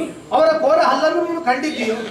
ನಿಮ್ಮನ್ನು ನೋಡಿದೀಯೋ ನೀನು ಕೋರ ಹಲ್ಲುಗಳನ್ನು ಕಂಡು ಎದ್ದು ಬಿದ್ದು ಹೊರಗೆ ಬರಬೇಕಾಗುತ್ತದೆ. ನೀವಿದ್ದೀರಲ್ವಾ ಅವಾಗ? ನಾವು ನಿನ್ನನ್ನು ಸಮಾಧಾನ ಮಾಡುವುದು ಅವರಲ್ಲಿ ಹೋರಾಟ ಮಾಡುವುದು. ನೀವು ಅವರ ಜೊತೆ ಅವರ ಜೊತೆ ಹೋರಾಟವನ್ನು ಮಾಡಿ. ಸಂದಿಗ್ಧ ಪರಿಸ್ಥಿತಿ ಒದಗಿ ಬರ್ತದೆ ಅಂತ ನಾನು ದೂರದಲ್ಲಿ ನಿಂತು ನೋಡ್ತೇನೆ. ಆಗುವುದಿಲ್ಲ. ಅವ ನಿನ್ನ ಮೇಲೆ ಕಣ್ಣು ಹಾಕಿದ ಅಂತ ಆದ್ರೆ ನನಗೆ ಸಂದಿಗ್ಧತೆ ಒದಗಿ ಬರ್ತದೆ. ಸ್ವಾಮಿ. ನಿನ್ನನ್ನು ರಕ್ಷಿಸುವುದು ಅವನಲ್ಲಿ ಹೋರಾಟ ಮಾಡುವುದು ಎಂತದು ಮಾಡಬೇಕು? ನಾನು ಕ್ಷಾತ್ರಿಯಾಡಿ ಸ್ವಾಮಿ. ಸತ್ರಾಜಿತರ ಮಗಳು ನಾನು. ರಾತ್ರಿಯಾನಿ ನಾನು ಹಾಗೆ ಹೀಗೆ ಅಂತ ಹೇಳಿಸಿಕೊಳ್ಳಬಹುದು ಹೇಳಬಹುದು. ಆದ್ರೆ ಅನುಭವ ಅಂತ ಒಂದು ಬೇಕು. ಯುದ್ಧಕ್ಕೆ ಅನುಭವ ಇಲ್ಲ ಅಂತ ಆದ್ರೆ ಮತ್ತೆ ಹೋಗಿ ಅಲ್ಲಿಂದ ಎತ್ತು ಬಿದ್ದು ಓಡಿ ಬರುವುದೇ? ಹಾಗಾಗಿ ಅನುಭವ ಇಲ್ಲದೆ ಯಾವ ಸಾಧನೆ ಮಾಡುವುದಕ್ಕಾಗುವುದಿಲ್ಲ ಕೇವಲ ಬಿರುದು ಹಿಡಿದುಕೊಂಡು ಏನು ಮಾಡ್ಲಿಕ್ಕೆ ಆಗುವುದಿಲ್ಲ ಗೊತ್ತಾ? ಈಗ ಸ್ವಾಮಿ ನಾನೀಗ ಬರ್ಬಾರ್ದು ನೀನು ಬರುವುದು ಬೇಡ. ನಾನೇ ಹೋಗಿ ಆದಷ್ಟು ಬೇಗ ಬರ್ತೇನೆ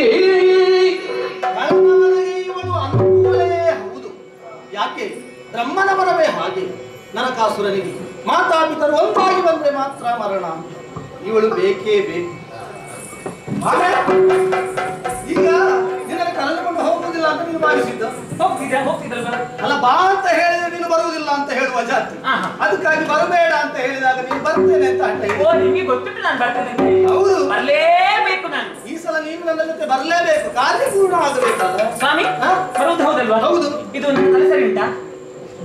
ಸ್ವಲ್ಪ ಕೆಟ್ಟು ಹೋಗುದಾ? ಹಾಗಲ್ಲ. ತಲೆ ಕೂದಲು ಬಾಚಿಗೆ ಸರಿ ಉಂಟು ಇದು ನನ್ನ ಸೀರೆ ಸಾಕ? ನಾವು ಮದುವೆ ಹೋಗುದಾ? ಹಾಗಲ್ಲ. ಇದು ನಿಮ್ಮ ಜೊತೆಯಲ್ಲಿ ಹೋಗುವಾಗ ಒಂದು ಚಂದ ಕಾಣಬೇಕಲ್ಲ ಆದ್ರೆ ಇದ್ದದ್ದು ಸಾಕು. ಇದು ಬಂಗಾರ ಈಗ ಹುಡುಗಿಯರು ಆಭರಣ ಹಾಕುವುದು ಸೀರೆ ಉಡುವುದು ಯಾರಿಗೆ ಚಂದ ಕಾಣೋದಕ್ಕೆ ಬೇಕಾಗಿ. ಮತ್ತೆ ನೀನು ಆ ಯುದ್ಧಕ್ಕೆ ಹೋಗುವಾಗ ಇದು ಸಾಕಾದ್ರು ಅಂತ ಕೇಳಿ. ನನ್ನ ಗಂಡ ಜೊತೆ ಇರುವಾಗ ನನ್ನ ಚಟ ಕಾಣ್ಬೇಕಲ್ಲ? ಅದಕ್ಕೆ ನಿಮಗೆ ಬೇಕಾಗಿರೋದು ಅವರಿಗೆ ಬೇಕಾಗಿಲ್ಲ ಸರಿ ಯುದ್ಧದೆಲ್ಲ ಸಾಕು ತಡ ಮಾಡುವುದಲ್ಲ. ವಿಹಾರಾತ್ಮ ಜನ ಬೆಗಲೇರೆ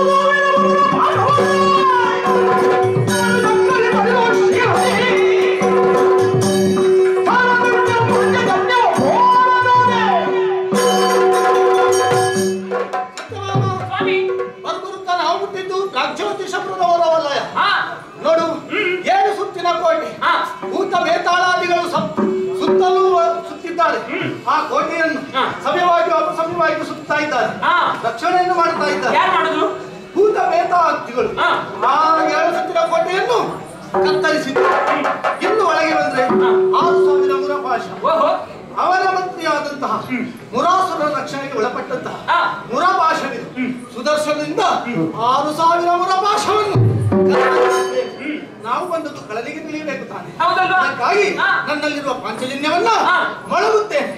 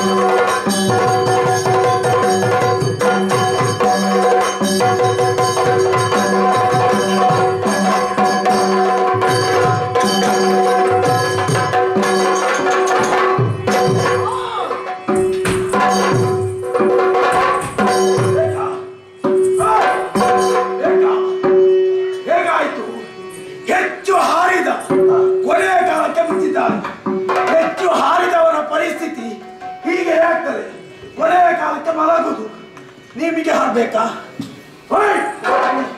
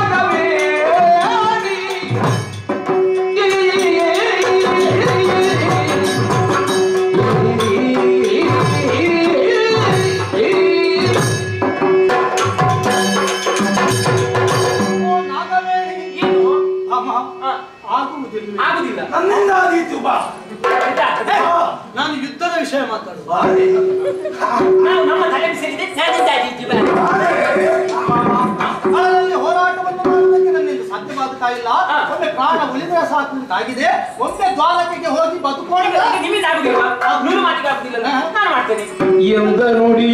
ಕೇಳುತ್ತ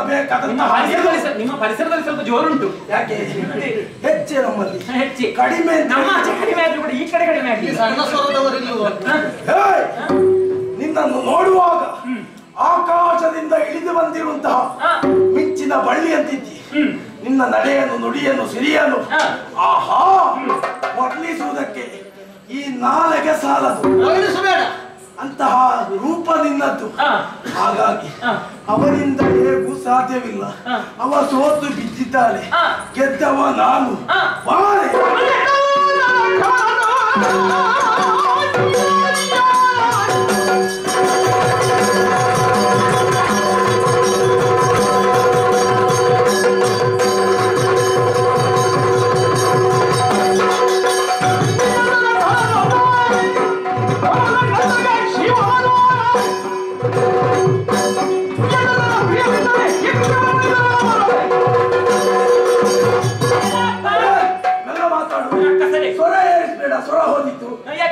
ಹೆಣ್ಣು ನೀವು. ನಮ್ಮದೆಲ್ಲ ಸ್ವರ ಹೋಗುದಿಲ್ಲ. ನಾಲ್ಕು ಕೋಣೆಗಳ ಸುತ್ತ ಮಾತ್ರ ನಿಮ್ಮ ಸ್ವರ. ಇದು ಯಾಕೆ. ನೀವು ಹಾಗೆ ಎಣಿಸಿದ್ದು. ನಿಮ್ಮಂತವರು ಹಾಗೆ ಹೇಳಿದ್ದದನ್ನು ಈಗ ಇಂದ ಹೆಣ್ಣು ಮಕ್ಕಳೇ ಹೇಗೆ? ಹೇಗೆ? ಸಮಾನ ಬೇಕಾಗಿ ಹಾ. ಪ್ರಯತ್ನ ಮಾಡ್ತಾರೆ. ಆಗ್ತದೆ ಆಗ್ತದೆ ಎಂಬುದಾಗಿ. ನಾವು ಬಿಟ್ಲಲ್ವಾ ನೀವೆಂತದ್ದು. ನೀವೆಂತ ಮಾಡ್ತೀರಿ ನಮ್ಮಲ್ಲಿ ಸಾಮರ್ಥ್ಯ ಉಂಟು. ಬಿಡುವವರು ನಾವಲ್ಲ. ಹೋರಾಟಕ್ಕೆಲ್ಲ ನಾವು ಹೆಣ್ಣು ಮಕ್ಕಳೇ ಆಗ್ಬೇಕಾದ್ರೆ ನಿಮಗೆ ಗೊತ್ತುಂಟಾ? ಹೇಗೆ? ಅದು ಈಗ ತೋರಿಸ್ತೇನೆ ಹೇಗೆಂತ? ಏನು ನಮ್ಮವರನ್ನು ಹೊಡೆದು ಉರುಳಿಸಿದ್ದೆ ಎನ್ನುವಂತ ಮಾತ್ರಕ್ಕೆ ನಿನ್ನ ಸಾಮರ್ಥ್ಯ ಆಗಿರ್ಬೋದು. ನಮ್ಮವರಿಗೆ ಬಲ ಕಮ್ಮಿ ಇಲ್ಲ ಅಂತ ಭಾವಿಸಿದ್ಯಾ ಹಾಗಲ್ಲ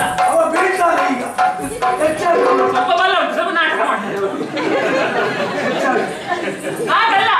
ನಿನ್ನ ಎದುರಿಗೆ ಒಂದು ನಾಟಕ ಅಷ್ಟೇ. ನಾಟಕ. ಹೌದು. ಅವರ ಎದುರಿಗೆ ನೀನು ಏನಲ್ಲ ದೃಢ ಸಮಾನ. ಏನು? ಯಾಕೆ? ಹೆಣ್ಣು ಮಕ್ಕಳಾದಂತಹ ನಾವು ಏನು ಅಡುಗೆ ಕೊನೆಯಲ್ಲಿ ಸೌಟ್ ಹಿಡಿದುಕೊಂಡು ಅಡುಗೆ ಮಾಡ್- ಮಾಡುವುದಕ್ಕೆ ಮಾತ್ರ? ಅಲ್ವಾ? ಅಡುಗೆ ಮಾಡುವಂತಹ ಕೈಯಲ್ಲಿ ಆಯುಧವನ್ನು ಹಿಡಿದು ನಿನ್ನಂತವರ ಉರುಳಿಸುತ್ತಿಲ್ಲ ಮಾತಾಡುವಾಗ ಒಗ್ಗರಣ ಶಬ್ದ ಬರ್ತಾ ಉಂಟು. ಮಾತಾಡುದು ಒಗ್ಗರಣ ಶಬ್ದ ಹೇಗೆ? ಹೌದು. ಅವನೇ ತಿನ್ನುವುದೇ ಹಾಗಾದ್ರೆ ಒಗ್ಗರಣೆ ಶಬ್ದ ನಿಮಗೆ ಹೇಗೆ ಕೇಳ್ತದೆ? ನಾನು ಮಾತಾಡುದು ಒಗ್ಗರಣೆ ಹಾಗಾದ್ರೆ ಒಗ್ಗರಣೆ ಶಬ್ದ ನಿಮಗೆ ಹೇಗೆ ಕೇಳ್ತದೆ? ಊಟ ಮಾಡುವುದಕ್ಕಾಗಿ ಹೊಟ್ಟೆ ಕಾಯ್ತಾ ಇದೆ. ಹೌದಾ? ಹೋಗಲಿ. ಊಟದ ವಿಷಯದಲ್ಲಿ.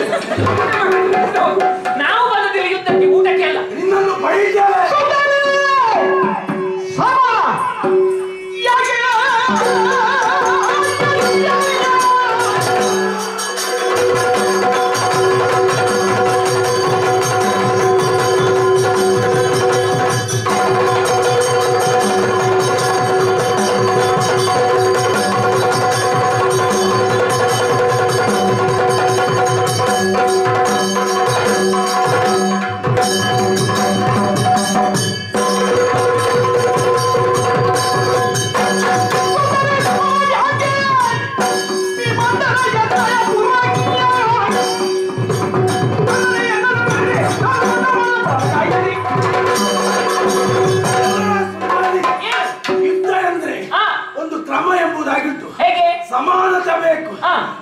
ಎದೆಗೆ ಪೂಜಾ. ಭುಜಕ್ಕೆ ಈಗ ಸಮಾಜ ಅಂತ ಹೇಳಿದ್ರೆ ನಿನ್ನ ಹಾಗೆ ಮುಳ್ಳು ಹಿಡ್ಕೊಂಡೆಲ್ಲ ಬರ್ಲಿಕ್ಕೆ ಆಗುತ್ತೆ ನಮ್ಮ ಶೈಲಿ.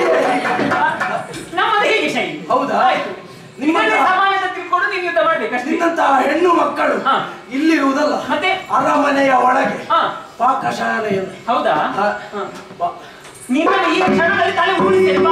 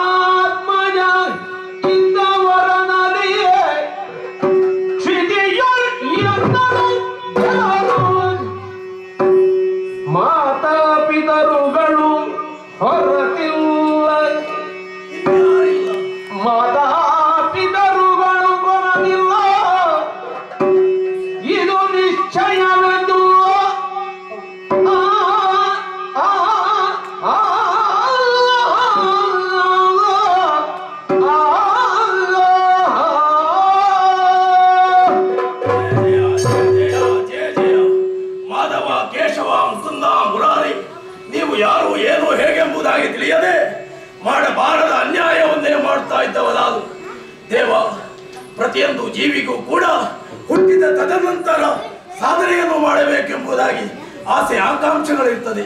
ನನ್ನ ಜೀವನದ ಉದ್ದಕ್ಕೂ ಕೂಡ ಪ್ರಶ್ನೆ ಒಂದೇ. ತಂದೆ ತಾಯಿಯಂದಿರು ಯಾರು ಎಂಬುದಾಗಿ ಪ್ರಪಂಚ ಇಡಿಯೂ ಕೂಡ ಕೇಳಿದ ತಕ್ಷಣ ನನ್ನಲ್ಲಿ ಉತ್ತರವಿಲ್ಲ. ಆ ಬ್ರಹ್ಮದೇವ ನೀಡಿದಂತಹ ವರವಾದೆಯರು ಜನ್ಮವಿತ್ತವರಿಂದ ಮಾಡ ಎಂಬುದಾಗಿ ನಿಮ್ಮ ಕೈಯಲ್ಲಿ ನಾನು ಸೋಲ್ಬೇಕು ಅಂತೇಳಿ ಆದರೆ ನನ್ನ ಜನ್ಮಕ್ಕೆ ಕಾರಣ ನೀವೇ ಹೊರತು ಬೇರೆ ಯಾರೂ ಇಲ್ಲ. ಓರ್ವನ ಜೀವನದಲ್ಲಿ ತಂದೆ ತಾಯಿಯಂದಿರು ಮಕ್ಕಳನ್ನು ಪೋಷಿಸದೆ ಸಲಹದಿದ್ರೆ ನನ್ನಂತಹ ಮಕ್ಕಳು ಹುಟ್ಟು ಹುಟ್ಟುತ್ತಾರೆ, ಕೆಟ್ಟ ದಾರಿಯಲ್ಲಿ ನಡೀತಾರೆ. ಇದುವರೆಗೂ ಕೂಡ ನಾನು ಈ ರೀತಿಯಾಗಿ ಪ್ರವರ್ತಿಸುತ್ತೆ ಯಾಕೆ? ತಂದೆ ತಾಯಿಯಂದಿರನ್ನು ನೋಡಬೇಕೆಂಬುದಾಗಿ ಪಂಚ ಮಹಾಪಾತಕಗಳನ್ನೇ ಎಸಗಿಕೊಂಡವ ನಾನು ತಾಯಿಯನ್ನೇ ಮೋಹದೆ ಕಣ್ಣೀರಿಂದ ನೋಡಿಕೊಂಡವ ನಾನು ಎಲ್ಲ ಮಾಡಿದ್ದೆಲ್ಲ ತಪ್ಪಾಯಿತು ದೇವ. क्षमया किसते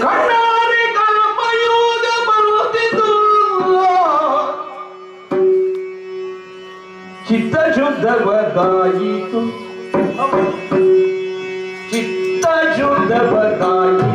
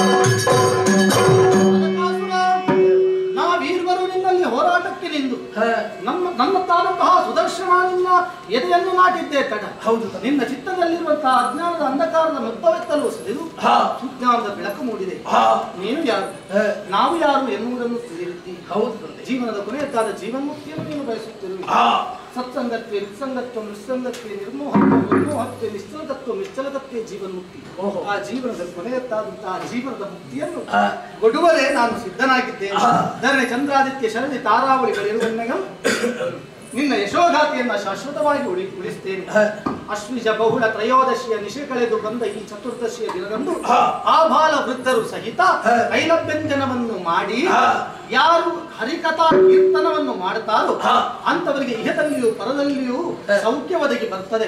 ಯಾರು ಹರಿಕೀರ್ತನೆಯನ್ನು ಮಾಡುವುದಿಲ್ಲವೋ ತೈಲಭ್ಯಂಜನ ಸ್ನಾನವನ್ನು ಮಾಡುವುದಿಲ್ಲವೋ ಅವರಿಗೆ ನಿನ್ನ ಹೆಸರಿನ ನರಕ ಪ್ರಾಪ್ತಿಯಾಗುತ್ತದೆ ಇದೋ ಮೋಕ್ಷ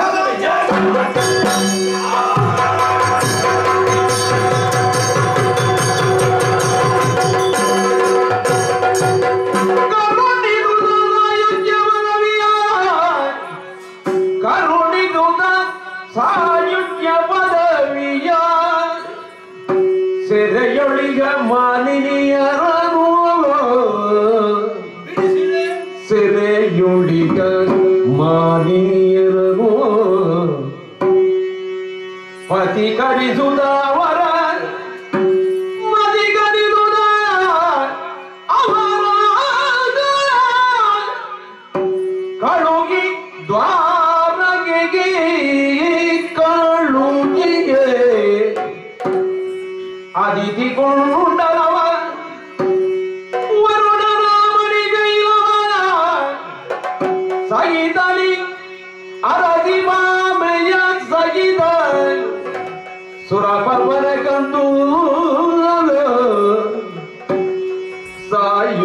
परवीय करुणि दिए